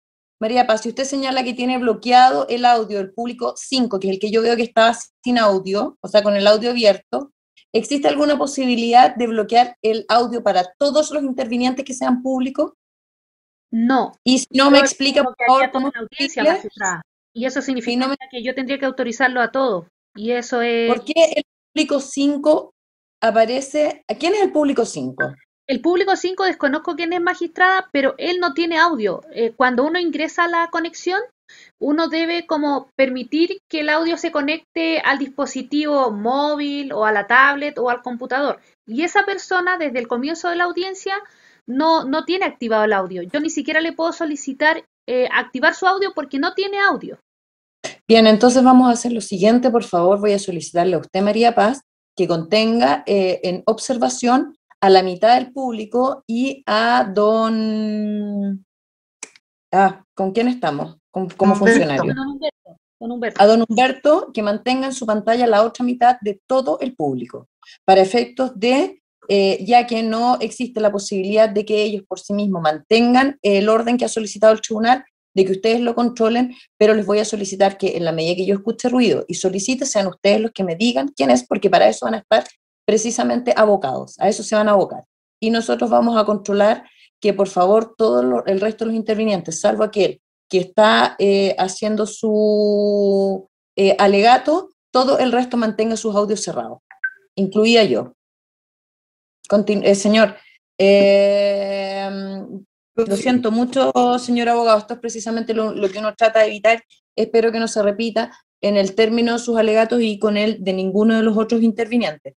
Continúa usted hablando eh, en relación con la eh, fotografía número 5. Muchas gracias, magistrada. Bueno, en la fotografía 5 se da cuenta de la vestimenta eh, utilizada por el imputado Espinosa el día 14. ¿no? Y yo hablaba de este característico tatuaje y también del característico banano con esta leyenda que señalaba Evade. En esta fotografía 5 se logra observar a- al imputado Espinosa paseando por Alameda con dos bombas de fabricación artesanal en sus manos. Y en esta misma fotografía, asimismo, se logra apreciar al imputado Centeno con su característico pasamontañas color negro con rojo, portando una bomba incendiaria en una de sus manos. Es decir, en la fotografía 2 y 5 de esta evidencia terminada en 942 se da cuenta de los tres imputados portando bombas incendiarias en sus manos. En las fotografías 2 y 13, su señoría, de, seguimos con la misma evidencia, se logra observar a los tres imputados esconderse en el acceso de Metro Baquedano ubicado en Vicuña Maquena, el acceso principal, donde proceden a fabricar bombas incendiarias cubiertos por escudos metálicos, algo ya señalado por el testigo Gaete. Y acá se logra identificar claramente a los imputados por sus vestimentas, y en el caso de Espinosa particularmente, porque se logra visualizar su gran tatuaje color negro en el brazo derecho. En la fotografía 14 se observa el momento en que Jesús Centeno lanza una bomba incendiaria a personal de carabineros en calle Doctor Corbalán. Esta evidencia también contiene videos, su señoría. En el video 1 de esta evidencia se aprecia claramente cómo el imputado Rojas, característico por sus vestimentas, lanza una bomba incendiaria hacia personal policial en la intersección de calles Libertador Bernardo Higgins con Avenida Vicuña Maquena. En el video 2 se aprecia cómo Espinosa, característico por su tatuaje y por la pañoleta eh, que lo cubre, se logra observar a Espinosa lanzando un artefacto incendiario a personal de carabineros también en calle Doctor Corbalán. En el video 3, su señoría, que terminaba en 0024, se aprecia cómo el día 14 de noviembre el imputado Espinosa, al costado de Metro Baquedano, explanada sur, porta una bomba incendiaria lista para su utilización. Debido a que el, imputado enciende la mecha de la misma y lanza esta bomba prendida al interior del ingreso de la estación de Metro Baquedano, el ingreso plazoleta, para identificarlo bien. Lugar donde, como ya referí, se encontraba personal de carabineros resguard- resguardando el sitio. Además, en este mismo video se logra ver al imputado Matías Rojas Marambio portando una bomba Molotov en su mano derecha. Reitero que es sumamente importante la alusión a la presencia de carabineros en los lugares donde se lanzan bombas incendiarias. Porque esto da mayor sustento a la teoría imputativa del Consejo de Defensa del Estado en términos que el lanzamiento de bombas incendiarias en todos estos casos puso en riesgo, en un peligro concreto, la seguridad colectiva. Y en particular puso en riesgo la vida de personal de carabineros que se encontraban resguardando el lugar. En el video 4 de esta misma evidencia se aprecia a Espinosa y a Centeno lanzando cada uno una bomba molotov en contra de personal de carabineros en calle Doctor Corbalán.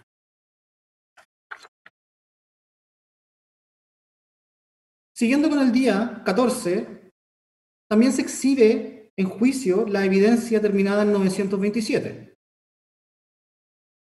en cuyo video, signado con el número 1, se aprecia claramente a los imputados Rojas y Centeno portando bombas molotov listas para ser utilizadas en calle Vicuña Maquena con Carabineros de Chile.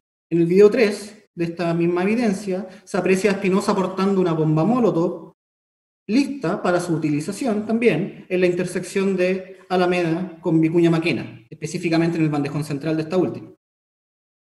En el video 6, su señoría se muestra a los tres imputados fabricando bombas incendiarias, manipulando este bidón color azul, ya muchas veces referido, en el bandejón central de Vicuña, en la intersección con calle Alameda, avenida Libertador Bernardo Higgins. Y como ya refirieron mis antecesores, en este video se observa cómo un sujeto graba la confección con una cámara y a los imputados dejándose fotografiar y grabar. En, el en los minutos 4, con 13 segundos a 4 con 28 segundos de este video número 6, se ve a Espinosa y a Rojas fabricando bombas incendiarias. En el minuto 6 con 56 segundos se observa al imputado Centeno guardando al interior de su mochila el bidón color azul ya referido. En el video 7 de esta evidencia, que termina en 0087, se observa claramente al imputado Espinosa, que es reconocible por sus vestimentas, lanzar con su mano derecha una bomba de fabricación artesanal en el costado norte de la estación Baquedano, hacia el ingreso principal de dicha estación, y que se encontraba siendo custodiada por carabineros. Como bien da cuenta el testigo Caete, en este ingreso llamado ingreso plazoleta, o el ingreso principal de estación Metro Espinosa realiza dos, dos lanzamientos, uno desde el norte y otro desde el sur. ¿Ya?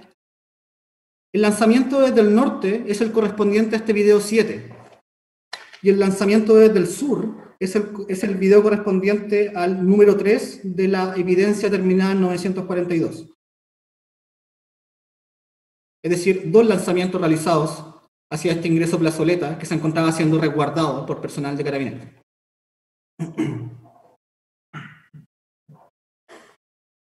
En este mismo video, señoría, eh, en el minuto 14 con 33, con 33 segundos, se logra observar a Centeno y a Espinosa realizando labores de confección de bombas incendiarias. ¿Y por qué sabemos que estaban confeccionando bombas incendiarias? Porque vierten el contenido del bidón azul en botellas de vidrio. Y en esta ocasión, su señoría, el imputado Rojas realiza labores de vigilancia, como refieren los testigos al momento de exhibírsele este video. Nuevamente podemos observar que este encuentro no fue un encuentro fortuito, sino que evidentemente existía una concertación previa, una división de funciones y una operación eh, lógicamente dividida para efectos de provocar el mayor daño posible con la realización de estos hechos delictivos. Cabe tener presente, su señoría, que muchos de estos videos exhibidos en juicio y que dan cuenta de estos ilícitos imputados, por ejemplo, solo por poner ejemplos, eh, y respecto de esta misma evidencia terminada en 927, los videos DJI-0084, DJI-0085, DJI-0086, DJI-0087, dan cuenta de estos hechos delictivos y en particular el DJ 0087 da cuenta de, como se, se refirió, de Espinosa lanzando una bomba incendiaria en la entrada principal de estación Metro Baquedano. Estos videos fueron exhibidos al teniente Felipe Miranda Aceituno, quien da cuenta del contenido de los mismos en estos términos.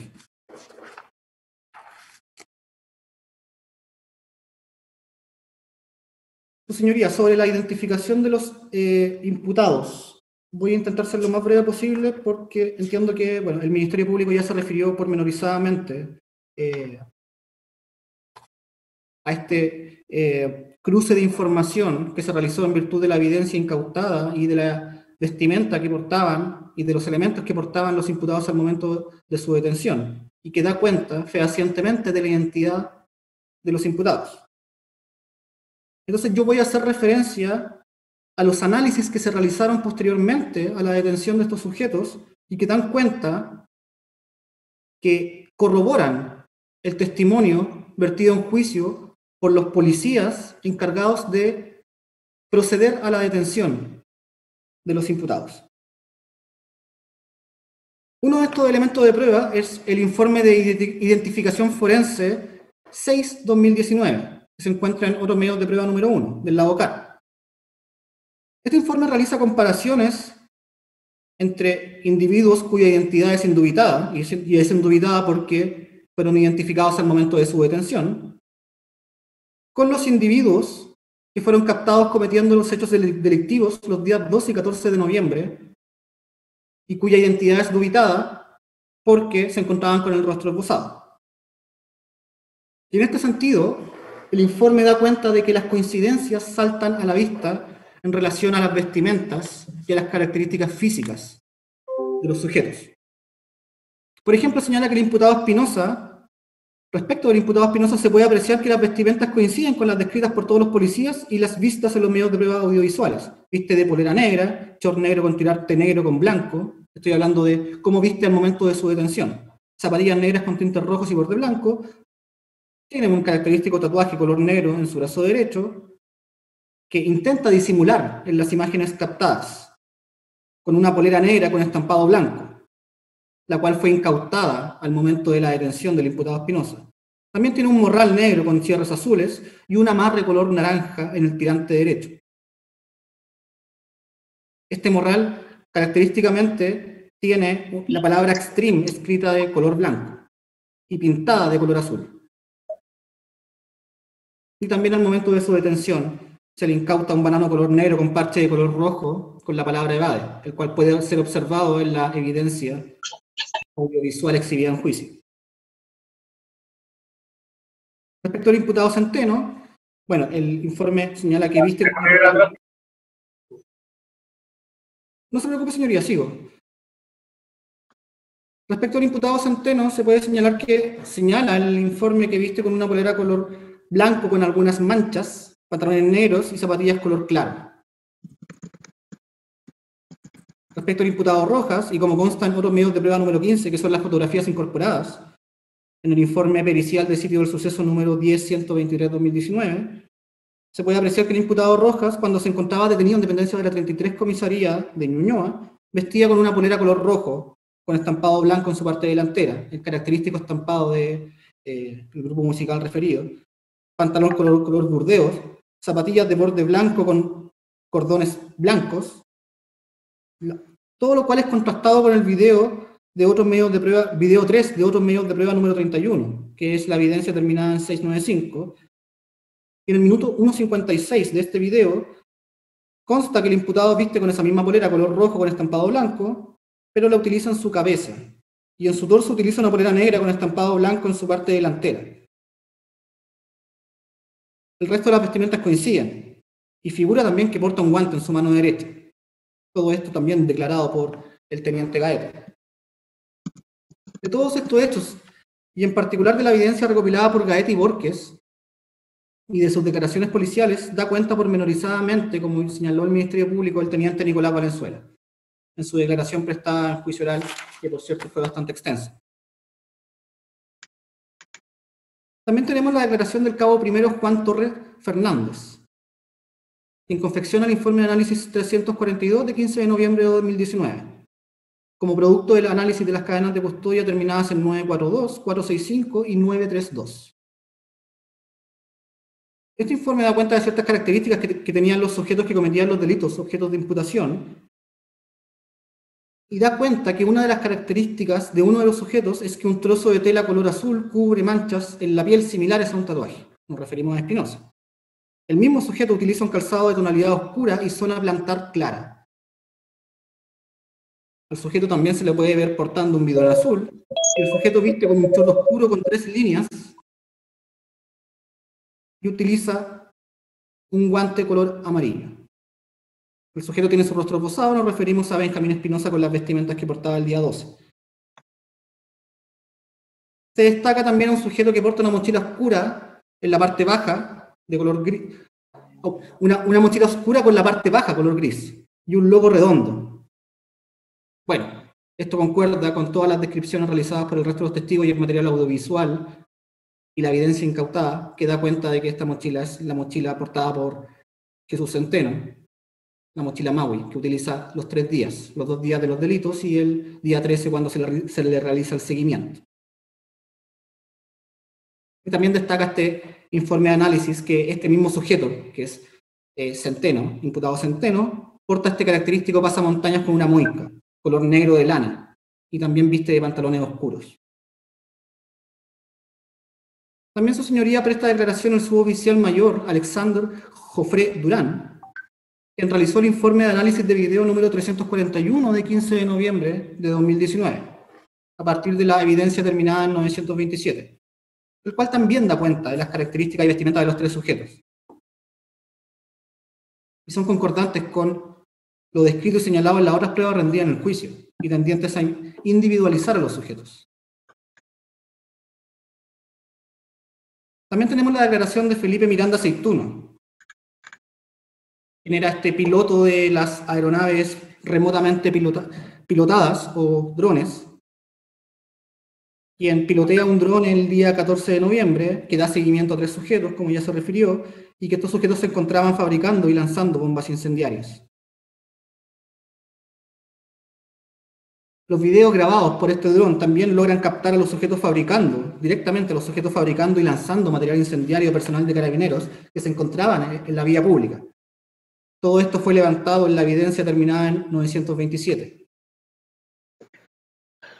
Tenemos también el testimonio de la perito María Mendizábal, quien da cuenta de las similitudes en las prendas de vestir utilizadas por los imputados y por los tres sujetos que eran de identidad desconocida al momento de ser filmados y fotografiados cometiendo los hechos ilícitos. Las conclusiones de este, de este informe pericial concuerdan con, toda con todo el resto de evidencia rendida en el juicio respecto de la individualización de los imputados, las vestimentas que portaban, que eh, utilizaban el día 12 y el día 14, los elementos que portaban, etc. También tenemos la declaración de la perito Vanessa Saldías Vergara, quien realiza una comparación entre las vestimentas incautadas a los imputados y las imágenes de los días 12 y 13. también da cuenta de que vestimentas incautadas en los domicilios de los imputados en razón de la entrada y registro coinciden con las vestimentas con que los imputados fueron filmados y fotografiados los días 2 y 13.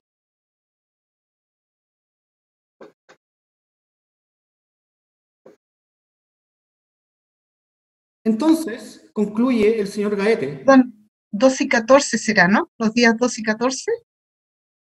Porque dijo 12 y 13. Ya. Continúe, por favor. Toda esta evidencia, señoría, tiende a corroborar las declaraciones vertidas en juicio por los testigos, peritos, interrogados, y que hacen concluir en su declaración al testigo Gaete y esto solamente respecto de los hechos imputados por el Consejo de Defensa del Estado, Primero, que en estación Baquedano, en la entrada de Vicuña Maquena con Alameda, participó directamente Espinosa de dos lanzamientos, uno por el costado norte y otro por el costado sur. Ya señalamos cuáles eran las evidencias materiales que daban cuenta de estos hechos relatados, que corroboraban la veracidad de estos hechos relatados. Y en estos hechos, los imputados Centeno y Rojas tuvieron participación activa en la confección de los artefactos incendiarios. En la entrada de Burle, con carnicer de estación Metro Baquedano, señala el testigo Gaete, participó activamente en la confección el acusado Rojas y Espinosa. Siendo Espinosa quien finalmente realiza el lanzamiento del artefacto incendiario hacia el interior de la estación. Finalmente, en la faena de construcción de la Universidad de Chile, es el acusado Espinosa quien porta y lanza el artefacto incendiario hacia el material apilado y hacia la máquina aplanadora y posteriormente prende fuego a una máquina retroexcavadora.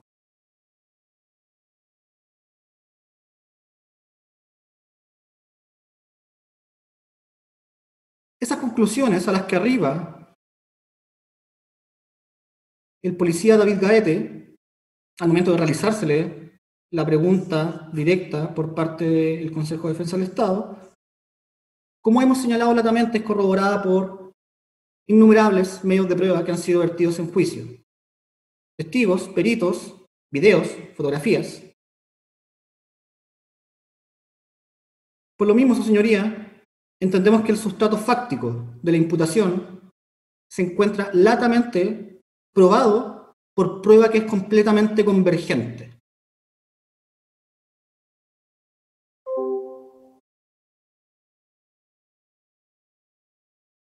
Sobre la calificación jurídica, su señoría.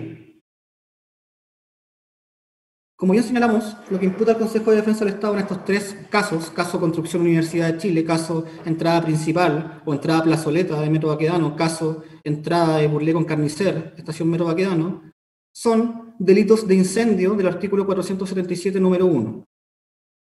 En concurso medial o ideal impropio con los delitos de fabricación y lanzamiento de artefactos incendiarios.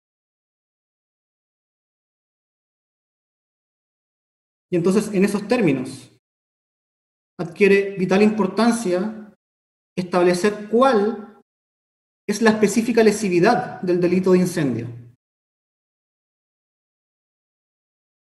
Y entonces, Matos y Ramírez nos señalan en su último manual de Derecho Penal Parte Especial, año 2021, cito, no consiste en quemar de cualquier manera, sino que en provocar un fuego que no puede ser apagado con facilidad por cualquiera.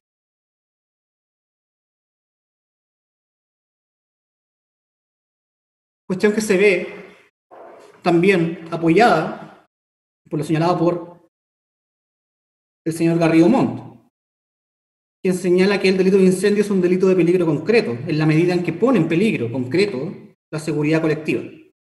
Y como nosotros hemos referido respecto del sustrato fáctico de la imputación, en los tres casos, lo que se puso en peligro fue la seguridad colectiva, y en particular se puso en peligro la vida e integridad física de terceros. En el caso de las dos entradas de metro, su señoría, ambas se encontraban siendo resguardadas por personal de carabineros. En el caso de la construcción de la Universidad de Chile, como bien refiere el testigo Johan Núñez, existía el riesgo latente de que el fuego se esparciera hacia los, hacia los edificios y viviendas aledañas. Entonces, ante la pregunta, ¿existe? ¿Se logra colmar un principio de lesividad o antijuridicidad material, como llaman algunos? La respuesta tiene que ser inevitablemente que sí si se pone en peligro concreto la vida e integridad física de terceros en los tres delitos imputados por el Consejo de Defensa del Estado. En esos términos, su señoría, la imputación correcta es la del artículo 477, número 1, en concurso medial con los delitos de fabricación y lanzamiento.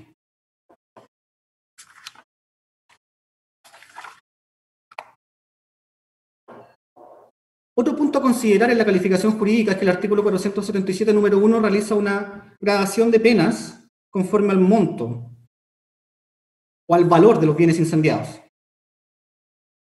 Bueno, respecto de la construcción de la Universidad de Chile, ya señalamos que existe documentación ingresada en juicio con la evaluación de los daños respecto del damper y la retroexcavadora y señalamos que la evaluación de los daños bordeaba las 709 UTM.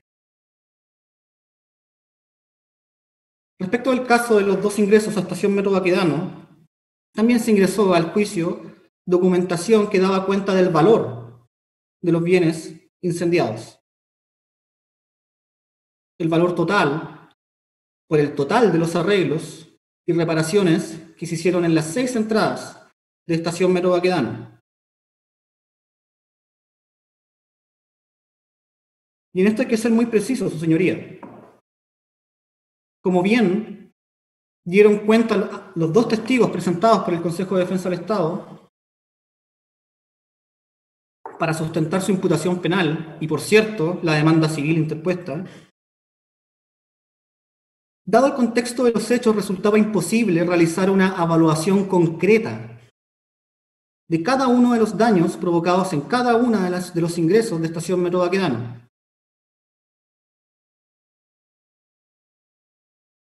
Es imposible señalar, por ejemplo,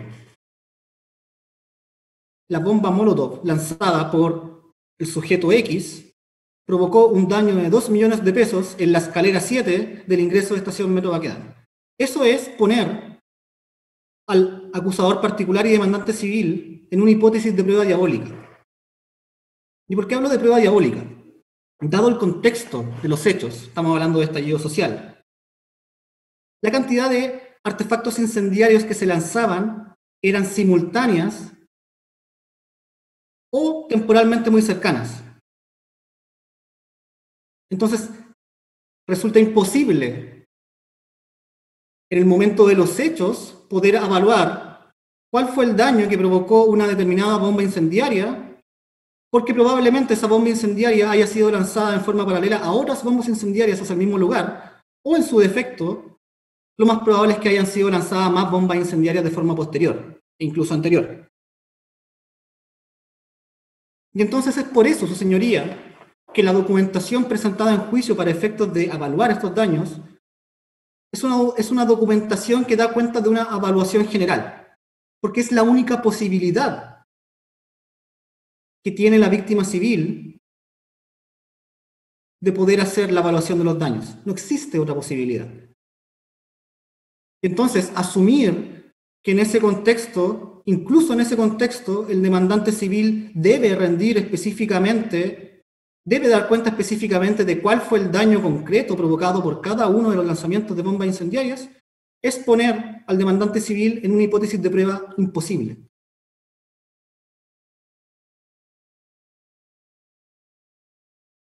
Lo cierto, su señoría, en todo caso, es que para efectos de la imputación penal, también lo que corresponde es aplicar el artículo 477, número 1, que pone el límite en las 40 UTM. Bueno, si no podemos establecer concretamente cuál es el monto de los daños producidos en el escalón número 7 de la escalera de la entrada oriente de Estación Metro Baquedano, lo que sí podemos establecer, indubitablemente, es que los daños provocados por cada uno de los lanzamientos de artefactos incendiarios en la estación Metro Baquedano superan holgadamente las 40 UTM que establece como límite el artículo 477 número 1, como límite inferior. Estamos hablando de aproximadamente 2 millones de pesos, señoría.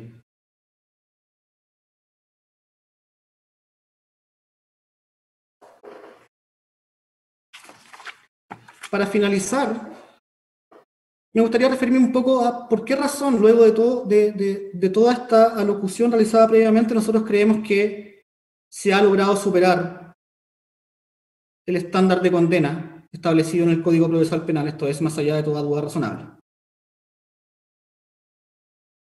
Al respecto puede resultar provechoso referirse a un texto de la profesora Daniela Acatino, que se llama Certezas, Dudas y Propuestas en torno al estándar de la prueba penal. Y la autora es bastante razonable al momento de realizar una reformulación del estándar de condena penal. Y ella señala, abro comillas, nadie podrá ser condenado por delito si las pruebas disponibles, las pruebas disponibles, justifican alguna duda de que realmente se hubiera cometido el hecho punible objeto de la acusación y de que en él hubiera correspondido al acusado una participación culpable y penada por la ley. Descompongamos un poco esta, esta, esta definición que realiza la profesora Acatino. La profesora en primer lugar señala, bueno, lo primero que tenemos que excluir son las dudas basadas en la mera posibilidad hipotética.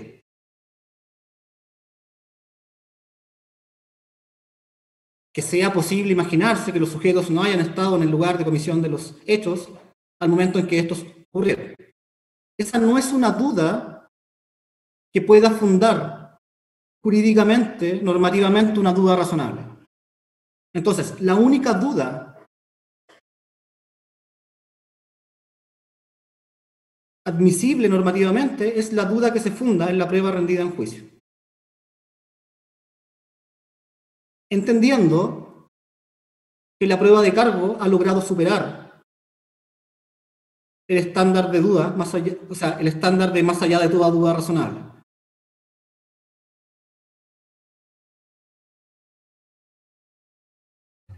Y entonces nos, señala Daniela Acatino, también haciendo alusión a una distinción que realiza el profesor Michel Tarufo entre prueba convergente y prueba divergente. Bueno, lo que tenemos en un caso como este es prueba convergente. La prueba de cargo es prueba convergente. Testimonios, peritos, medios de prueba audiovisual, fotografías,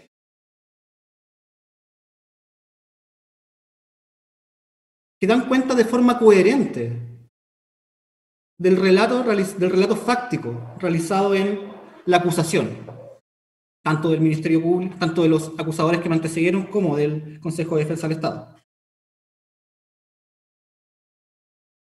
También hace una, una prevención la profesora Acatino, y es que en ningún caso el estándar de duda razonable puede ser conceptualizado como una exigencia de completa coherencia y valga la redundancia, completitud de la prueba rendida en juicio. Es decir, pueden existir cabos sueltos. Lo importante es que estos cabos sueltos no digan relación con la materia principal de imputación. Y entonces, solo por poner un ejemplo, que un testigo señale 17 horas y otro testigo señale 17.30 horas, bueno, en estos términos no constituye un cabo suelto lo, lo suficientemente importante como para efectos de fundamentar una duda razonable. ¿Y esto por qué razón?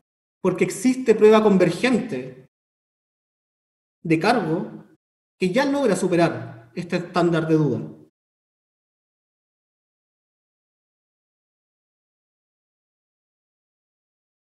También el profesor Michel Tarufo habla de la prueba divergente, ¿no? Y este sería,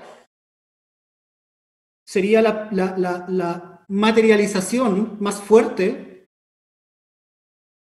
de lo que es la introducción de una duda razonable. Y entonces el profesor Tarufo señala que hay prueba divergente cuando, conforme a la prueba rendida en el juicio, existe una hipótesis alternativa incompatible con la hipótesis acusatoria.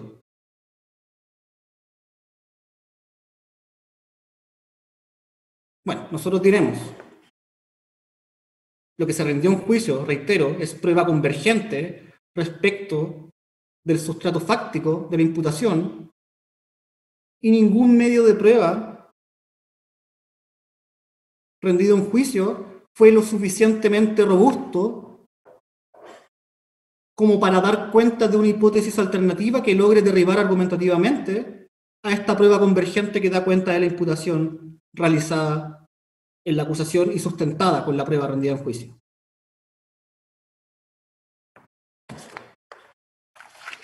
Y entonces, su señoría, en esos términos, entendiendo la concurrencia de prueba convergente, entendiendo la ausencia de prueba divergente, es decir, que haga verdadera una hipótesis fáctica alternativa a la hipótesis acusatoria, nosotros entendemos que el estándar de prueba, más allá de toda duda razonable, ha sido claramente superado y conforme a las consideraciones de orden fáctico y de, orden normativo, lo que corresponde es condenar por los delitos imputados en la acusación particular por el Consejo de Defensa del Estado. Es todo cuanto, cuanto puedo señalar sin perjuicio de las réplicas en su momento dado. Mm, Señor Consejo de Defensa, se lo hago presente de inmediato en relación con sus acciones civiles o acción civil, que no ha habido eh, un señalamiento de nada.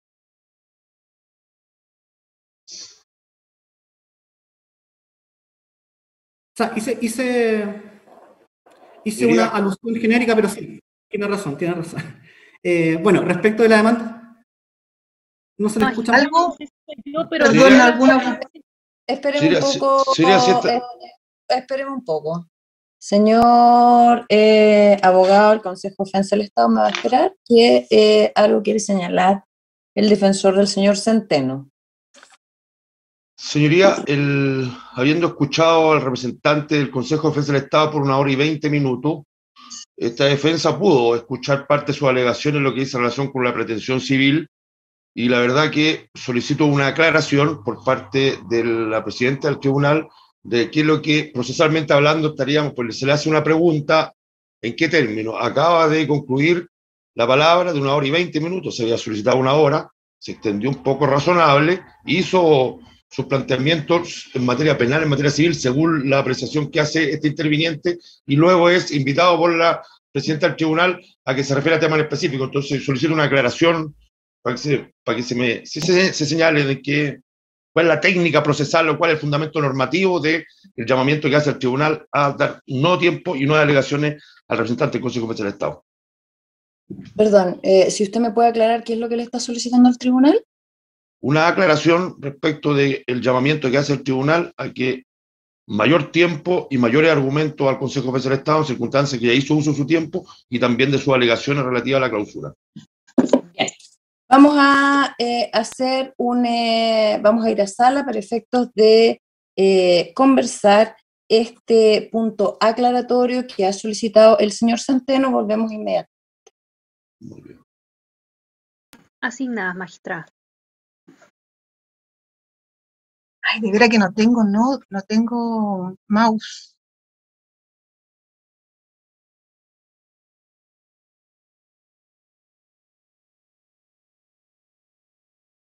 No lo veía recién. por Sí, sí está. Falta la Catrina, parece, ¿o no? Sí, tiene que No, estar ah, ya volviendo. está. ¿Ah? No, ya está en pantalla. la Ah, ya. señora. Bien, eh, a la solicitud del defensor eh, del señor Centeno, el tribunal va a eh, señalar que eh, bajo ningún aspecto se encuentra subsidiando el tiempo eh, y las alegaciones requeridas, o sea, realizadas por el Consejo de Defensa del Estado sin perjuicio. Desde ya hago presente que el tribunal al inicio y el- también el día anterior, cuando se preguntó, señaló que estos términos no obligaban eh, necesariamente a mantenerse en ellos, que podían aumentarse. Eso, eso quedó absolutamente claro, pero eh, a lo que ha solicitado aclaración no hay un subsidio, sino eh, simplemente eh, se le solicita que eh, precise en relación con aquello que el tribunal estima necesario para poder llegar a una resolución final. ¿Bien? Entonces, eh, señor Consejo de Acá. Defensa del Estado, para efectos que usted, eh, en relación con esto anterior, eh, toda vez que así como usted habló de distintos capítulos en su alegación, tres capítulos en específico, no hablo ninguno en específico en relación con su eh, eh, demanda civil, el eh, tribunal le hace la consulta si respecto de, de aquello usted estima que ya lo consideró dentro de sus alegaciones o de contrario y requiere un tiempo de unos cinco minutos máximo para pronunciarse. Usted nos va señalando eh, respecto de. Entendiendo que lo, lo- importante es la claridad del tribunal, voy a hacer una alusión expresa a, a la demanda civil. Eh, entendemos que en virtud de la prueba rendida para la acción penal y que también eh, utilizamos para efecto de sustentar nuestra demanda civil, se encuentran probados todos los elementos de la responsabilidad civil extracontractual. Esto es, la comisión de un hecho ilícito, en este caso de carácter civil, doloso, la producción de un daño y el vínculo de causalidad entre este hecho ilícito doloso y el daño provocado. Entendemos que, por cierto, el carácter, reitero, el carácter ilícito doloso y dañoso del hecho se encuentra probado en virtud de todas las referencias que se hicieron para efecto de sustentar la acción penal. Son delitos de incendio, en que el lanzamiento de las bombas incendiarias fue realizado a propiedad de Metro, empresa pública del Estado, de Corfo y del Fisco de Chile. Em, este hecho fue de carácter doloso, intencional. Val- valga destacar que no existe, no existe ningún tipo de prueba que sugiera razonablemente que eh, nos podríamos encontrar ante una hipótesis, siquiera, siquiera, de una acción negligente. Aquí lo que existe es dolo.